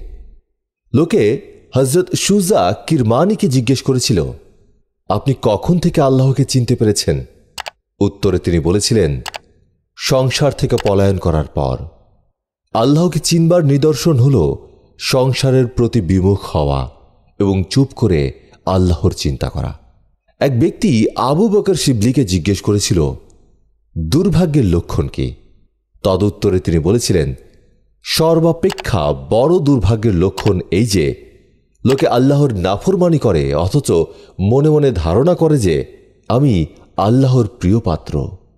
আরেক ব্যক্তি তাকে জিজ্ঞেস করেছিল, আরেফ লোকের চিহ্ন কি? তিনি উত্তর করেছিলেন, আরেফ লোক আল্লাহর ভয়ে সর্বদা ভীত থাকবে। আরেফ লোকের নীরব থাকার এই অর্থ যে সে আল্লাহর সাথে কথোপকথনে লিপ্ত থাকে। যখন সে চক্ষু বন্ধ করে, তখন সে আল্লাহর অসীম কুদরত দেখতে পায়। আরেফ লোক সর্বদা আল্লাহর কাছে অবস্থান করছে বলেই মনে করে। তারা যখন ধ্যানে নিমগ্ন থাকে, তখন তার চোখের সামনে বিচিত্র জগতের অসংখ্য ছবি ভেসে ওঠে, কিন্তু তিনি সেদিকে আদৌ ভ্রুক্ষেপ করেন না। কামেল আরেফের দরজা কতদূর পর্যন্ত বিস্তৃত, তা শুধু একমাত্র আল্লাহ তালাই অবগত। তার আত্মা কোন সদূরে ভ্রমণ করেছে এবং সেখান থেকে কখন প্রত্যাবর্তন করবে, তা কেউ বলতে পারে না। একদিন খাজা মঈনুদ্দিন চিস্তি রহমতুল্লাহ আলহে এর পীর খাজা ওসমান হারুনি রহমতুল্লা আলহে তার প্রিয় মুরিদ খাজা মঈনুদ্দিনকে ডেকে পাঠালেন। তিনি পীর সাহেবের আহ্বানে স্থির থাকতে না পেরে কাল বিলম্ব না করে খাজা ওসমান হারুনির সাথে সাক্ষাৎ করার জন্য রওনা হয়ে গেলেন। দীর্ঘ পথ ভ্রমণের পর খোরাসানের সীমান্তে গিয়ে তিনি তার পীর সাহেবের দর্শন লাভ করলেন। দীর্ঘকাল যাবৎ পরস্পর পরস্পরের অদর্শনেই ব্যাকুল হয়ে পড়েছিলেন। খাজা ওসমান হারুনি রহমতুল্লা আলহে তার প্রিয় শিষ্য মঈনুদ্দিনকে যার পর নাই আনন্দিত হয়ে তাকে বুকে জড়িয়ে ধরলেন। কুশলাদি জিজ্ঞেস করার পর তিনি খাজা মঈনুদ্দিন চিস্তি রহমতুল্লা আলহেকে বললেন, বাবা মঈনুদ্দিন, আমি সত্তরই মক্কা শরীফ গমনের ইচ্ছা করছি। শুধু তোমার প্রতীক্ষায় বসে আছি। নতুবা এতদিন চলে যেতাম। মক্কা শরীফ থেকে আমার আর ফিরে আসবার সম্ভাবনা নেই। জীবনের শেষ কটা দিন আমি হজরত রসুল পাক সাল্লাহ আলী সাল্লামের রওজা মুবারকের কাছেই অবস্থান করতে মনস্থ করেছি। সেজন্যে বিশেষ প্রয়োজনে তোমাকে আহ্বান করেছিলাম। আমার পীর হজরত হাজি শাহ শরীফ জিন্দানি রহমতুল্লা আলহে তাঁর ইন্তেকালের কিছুদিন পূর্বে আমার কাছে কয়েকটি পবিত্র বস্তু আমানত রেখে গিয়েছেন। আমি এতদিন পর্যন্ত সেগুলো অতি যত্নের সাথে রক্ষা করে এসেছি। এখন আমার পরপারে যাওয়ার সময় ঘনিয়ে এসেছে। কাজেই মক্কা শরীফ গমনের পূর্বে আমি সেই পবিত্র জিনিসগুলোর রক্ষার দায়িত্ব তোমার উপর অর্পণ করে যেতে চাই।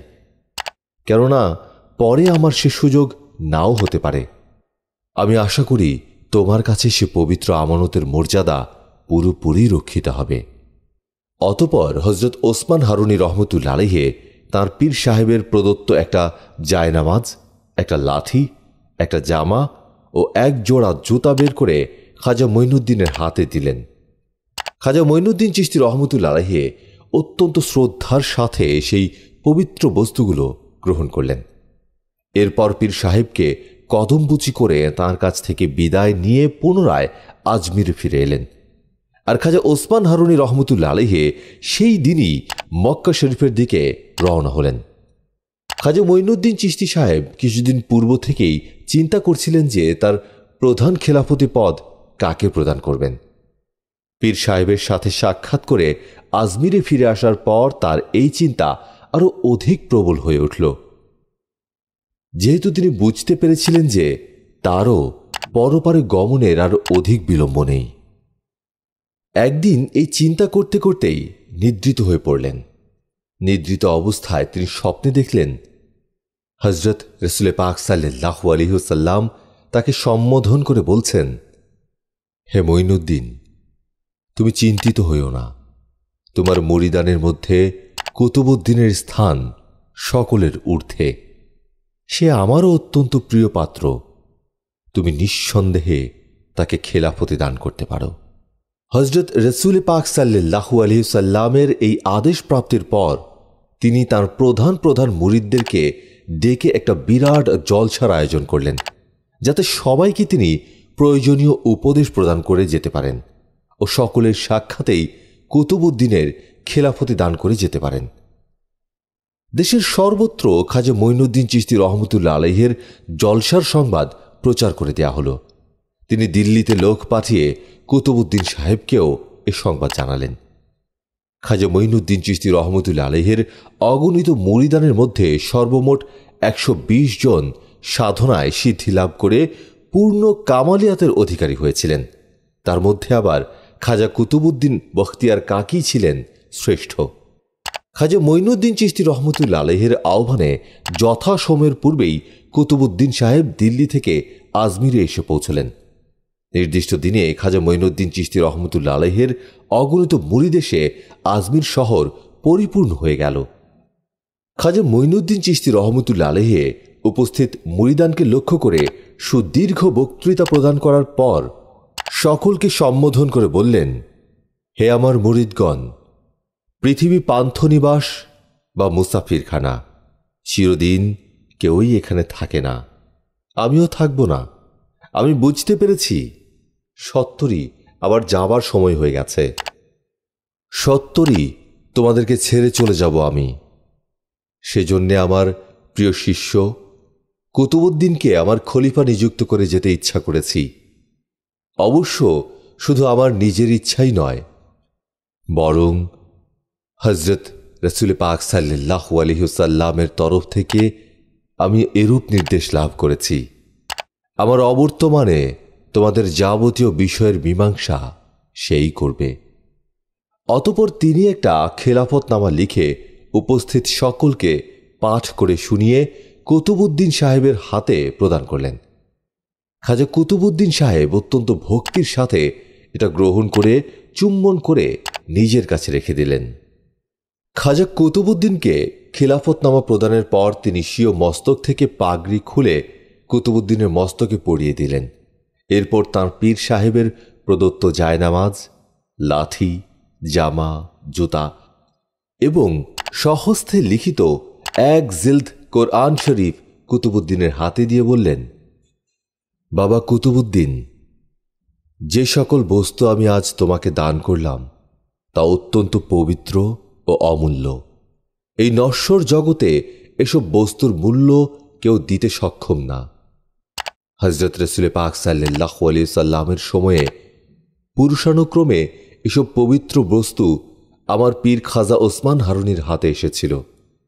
তিনি কিছুদিন পূর্বে এটা আমাকে প্রদান করে মাক্কা শরীফ চলে গিয়েছেন। আজ আমি তোমার কাছে সেই পবিত্র বস্তুগুলো আমানত রেখে যাচ্ছি। জেনে রেখো, এসব বস্তু আমার প্রাণ অপেক্ষাও অধিক প্রিয় ছিল। আমি বিশ্বাস করি, তুমি এসব পবিত্র বস্তুর মর্যাদা রক্ষা করার সম্পূর্ণ উপযুক্ত। তবে সাবধান, যদি এসব বস্তুর বিন্দু মাত্র অবমাননা হয়, তবে কেয়ামতের দিন আমি আমার পীর সাহেবের কাছে ও হজরত রসুল পাক সাল্লাহ সাল্লামের কাছে বিশেষ লজ্জিত হব। অতপর তিনি খাজা কুতুবুদ্দিনের ডান হাত নিজের হাতের মধ্যে নিয়ে উঠে দাঁড়িয়ে ঊর্ধ্ব দিকে তাকিয়ে বললেন, হে সর্বশক্তিমান আল্লাহ, আমার প্রিয় খলিফা কুতুবুদ্দিনকে আমি আপনার রহমতের ওপর ছেড়ে দিচ্ছি। আপনি একে রক্ষা করবেন।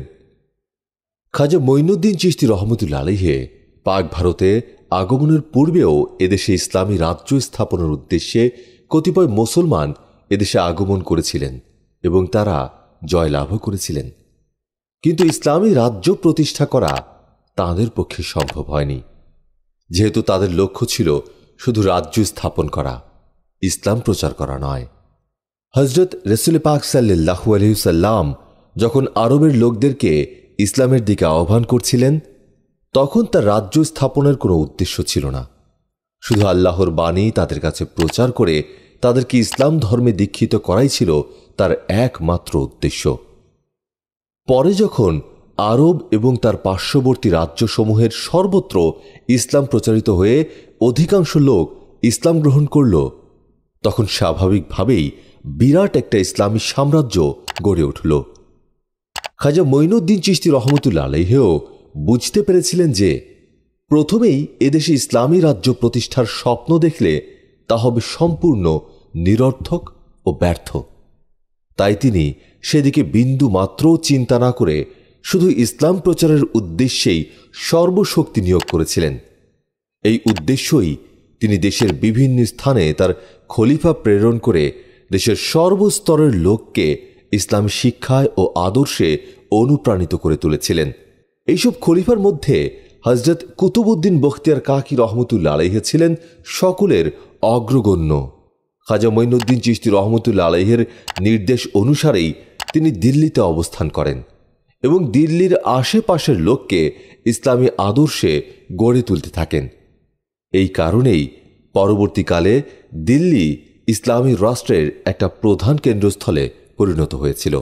খাজা মঈনুদ্দিন চিস্তি রহমতুল্লা আলহে এবং তার খলিফাগণ শুধু দেশের জনসাধারণকেই ইসলাম ধর্মে দীক্ষিত ও ইসলামী আদর্শে অনুপ্রাণিত করেছিলেন তা না, বরং দেশের মুসলিম শাসনকর্তাদেরকেও ইসলামী আদর্শ শিক্ষা দিতে বিন্দুমাত্র ত্রুটি করেননি। সেজন্যেই এদেশে সুদীর্ঘ সাতশত বছর ইসলামী শাসন কায়েম ছিল। খাজা মঈনুদ্দিন চিস্তি রহমতুল্লা আলহে একবার স্বপ্নে দেখলেন হজরত রসুল পাক সাল্লাহু আলহিসাল্লাম তাকে সম্বোধন করে বলছেন, হে মঈনুদ্দিন, তোমার প্রত্যেকটি কাজের জন্যেই আমি তোমার প্রতি অত্যন্ত সন্তুষ্ট হয়েছি, কিন্তু একটি মাত্র বিষয়ে আমি তোমার উপর বেজার আছি।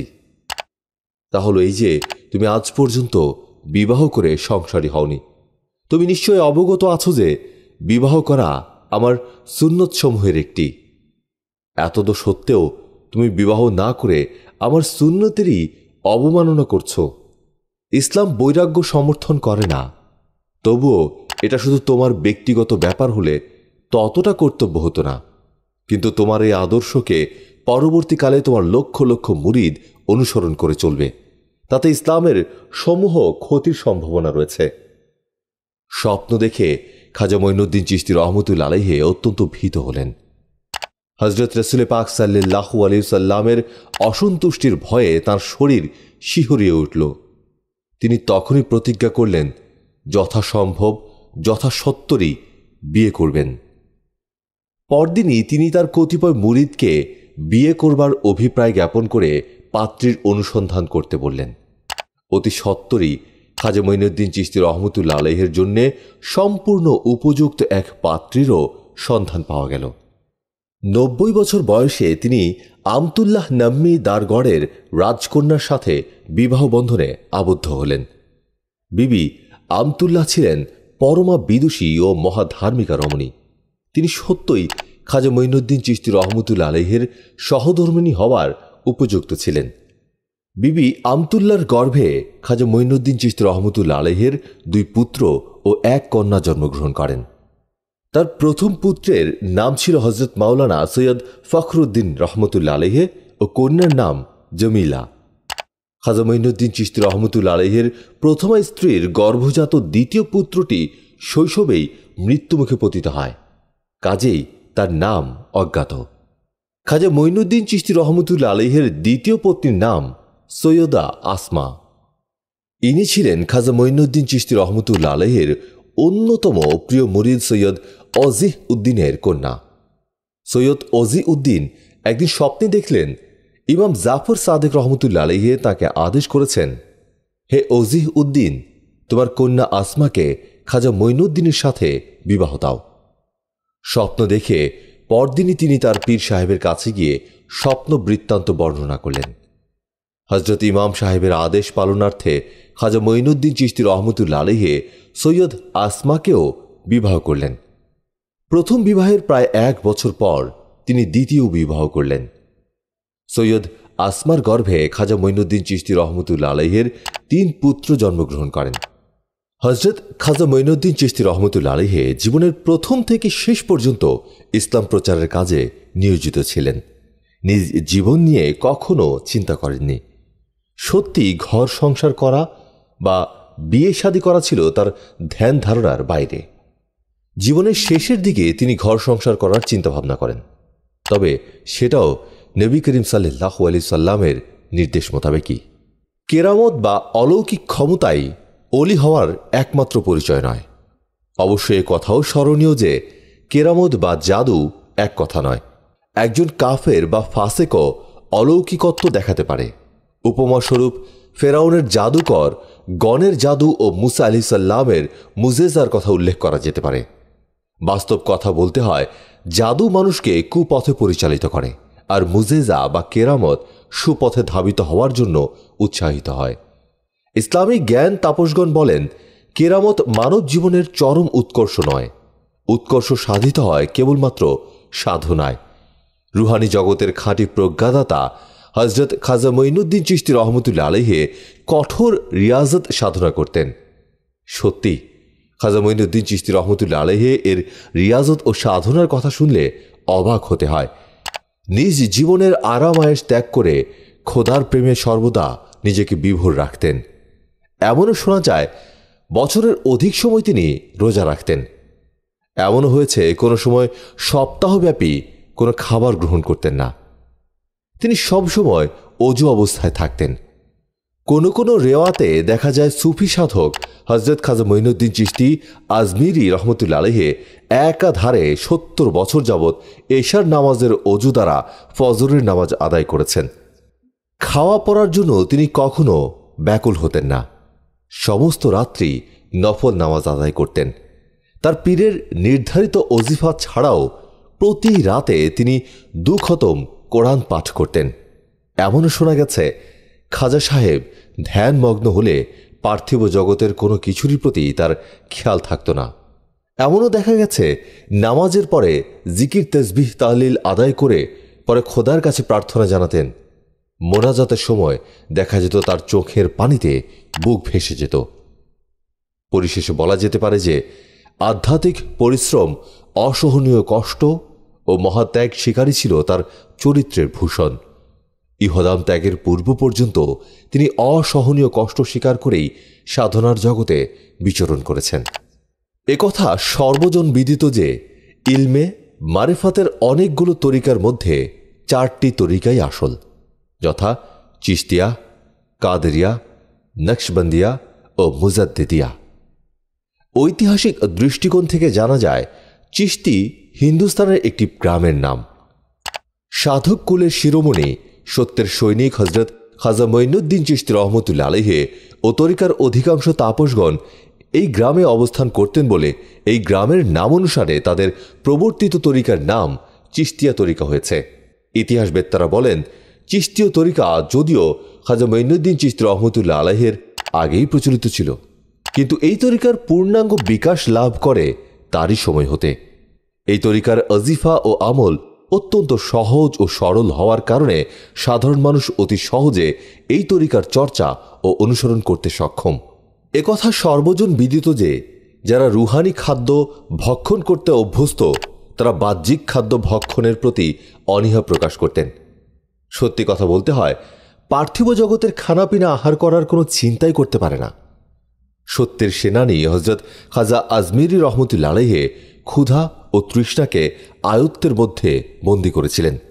এ কারণেই তিনি না খেয়েও পবিত্র রমজানের রোজা রাখতেন।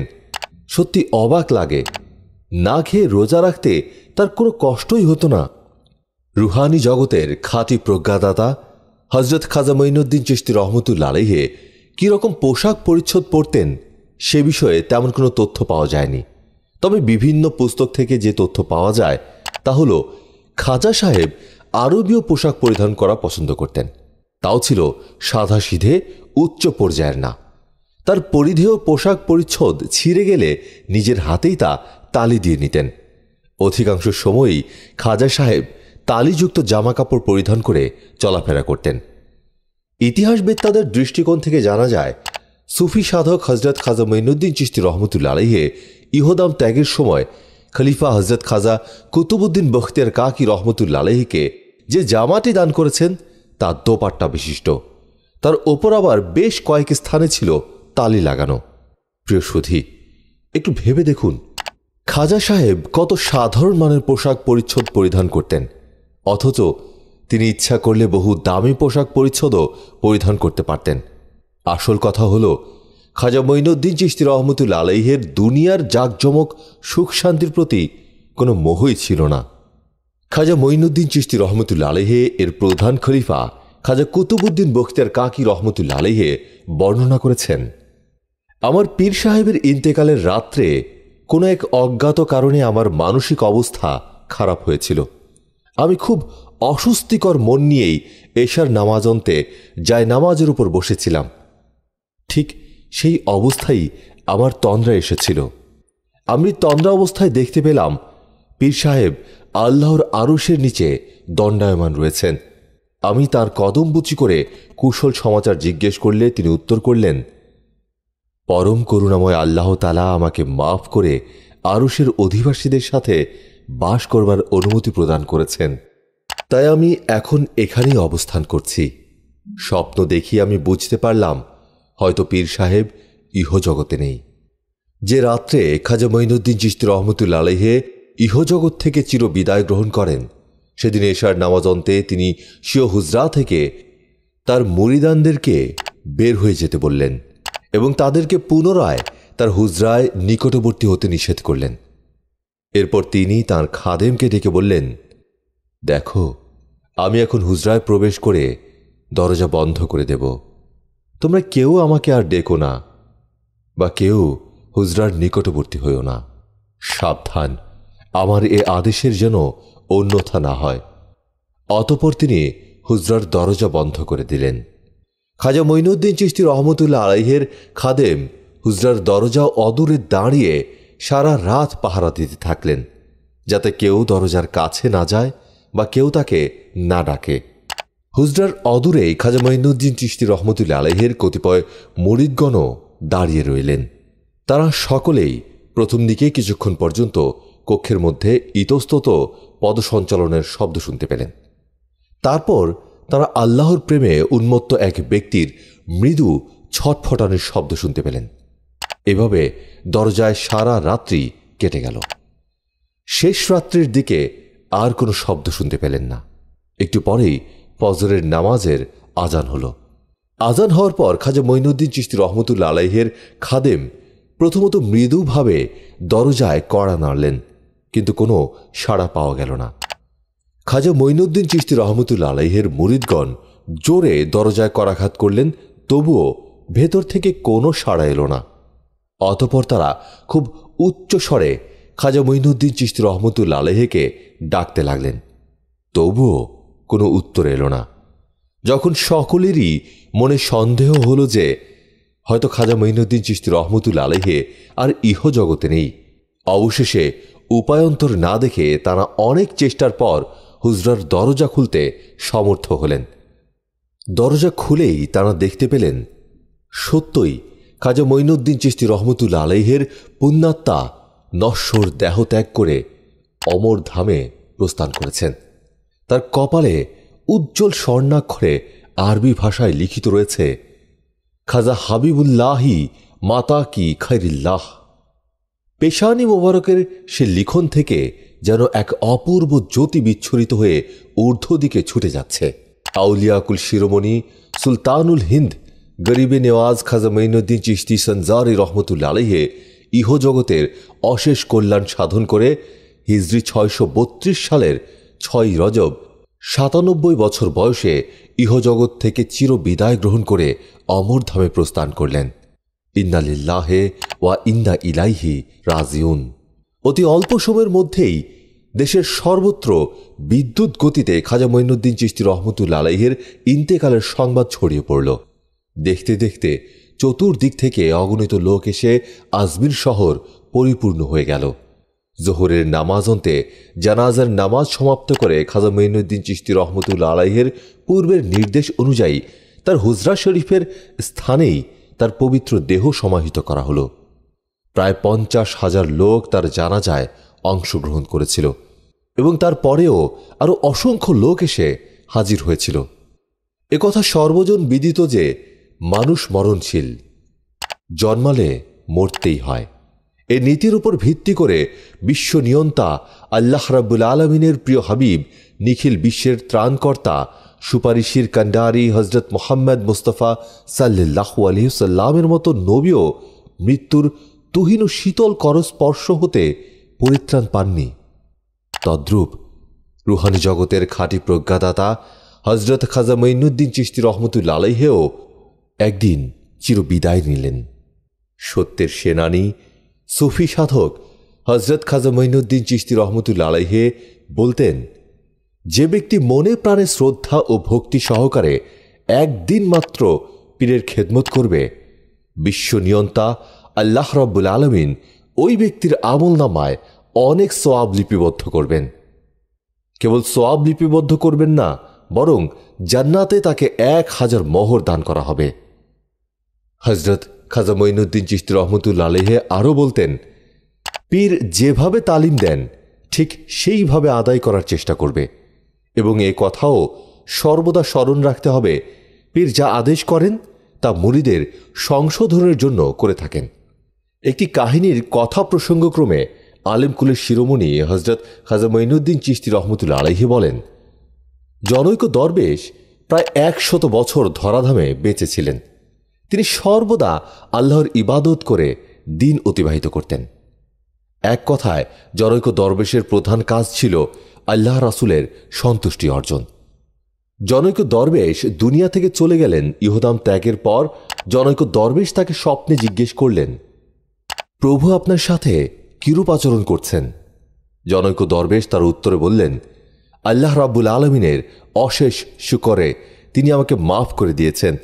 তবে আমার ইবাদতের কারণে নয়। আমাকে আমার পীরের খেদমত করার কারণে দয়াময় প্রভু আমার উপর সন্তুষ্ট হয়েছেন এবং তার বিনিময়ে আমাকে মাফ করে দিয়েছেন। প্রিয় সুধী, একটু ভেবে দেখুন, পীরের খেদমত তথা সোহবাতে থেকে মানুষ কত উচ্চ স্থানে ধাবিত হয়, যার উজ্জ্বল প্রমাণ আমরা উল্লেখিত ঘটনার মাধ্যমে পাই। আল্লাহ রাব্বুল আলমিন এই মহান অলির উসিলায় আমাদের সবাইকে ক্ষমা করুন এবং দুনিয়া ও আখেরাতে কল্যাণময় জীবন দান করুন। আমিন।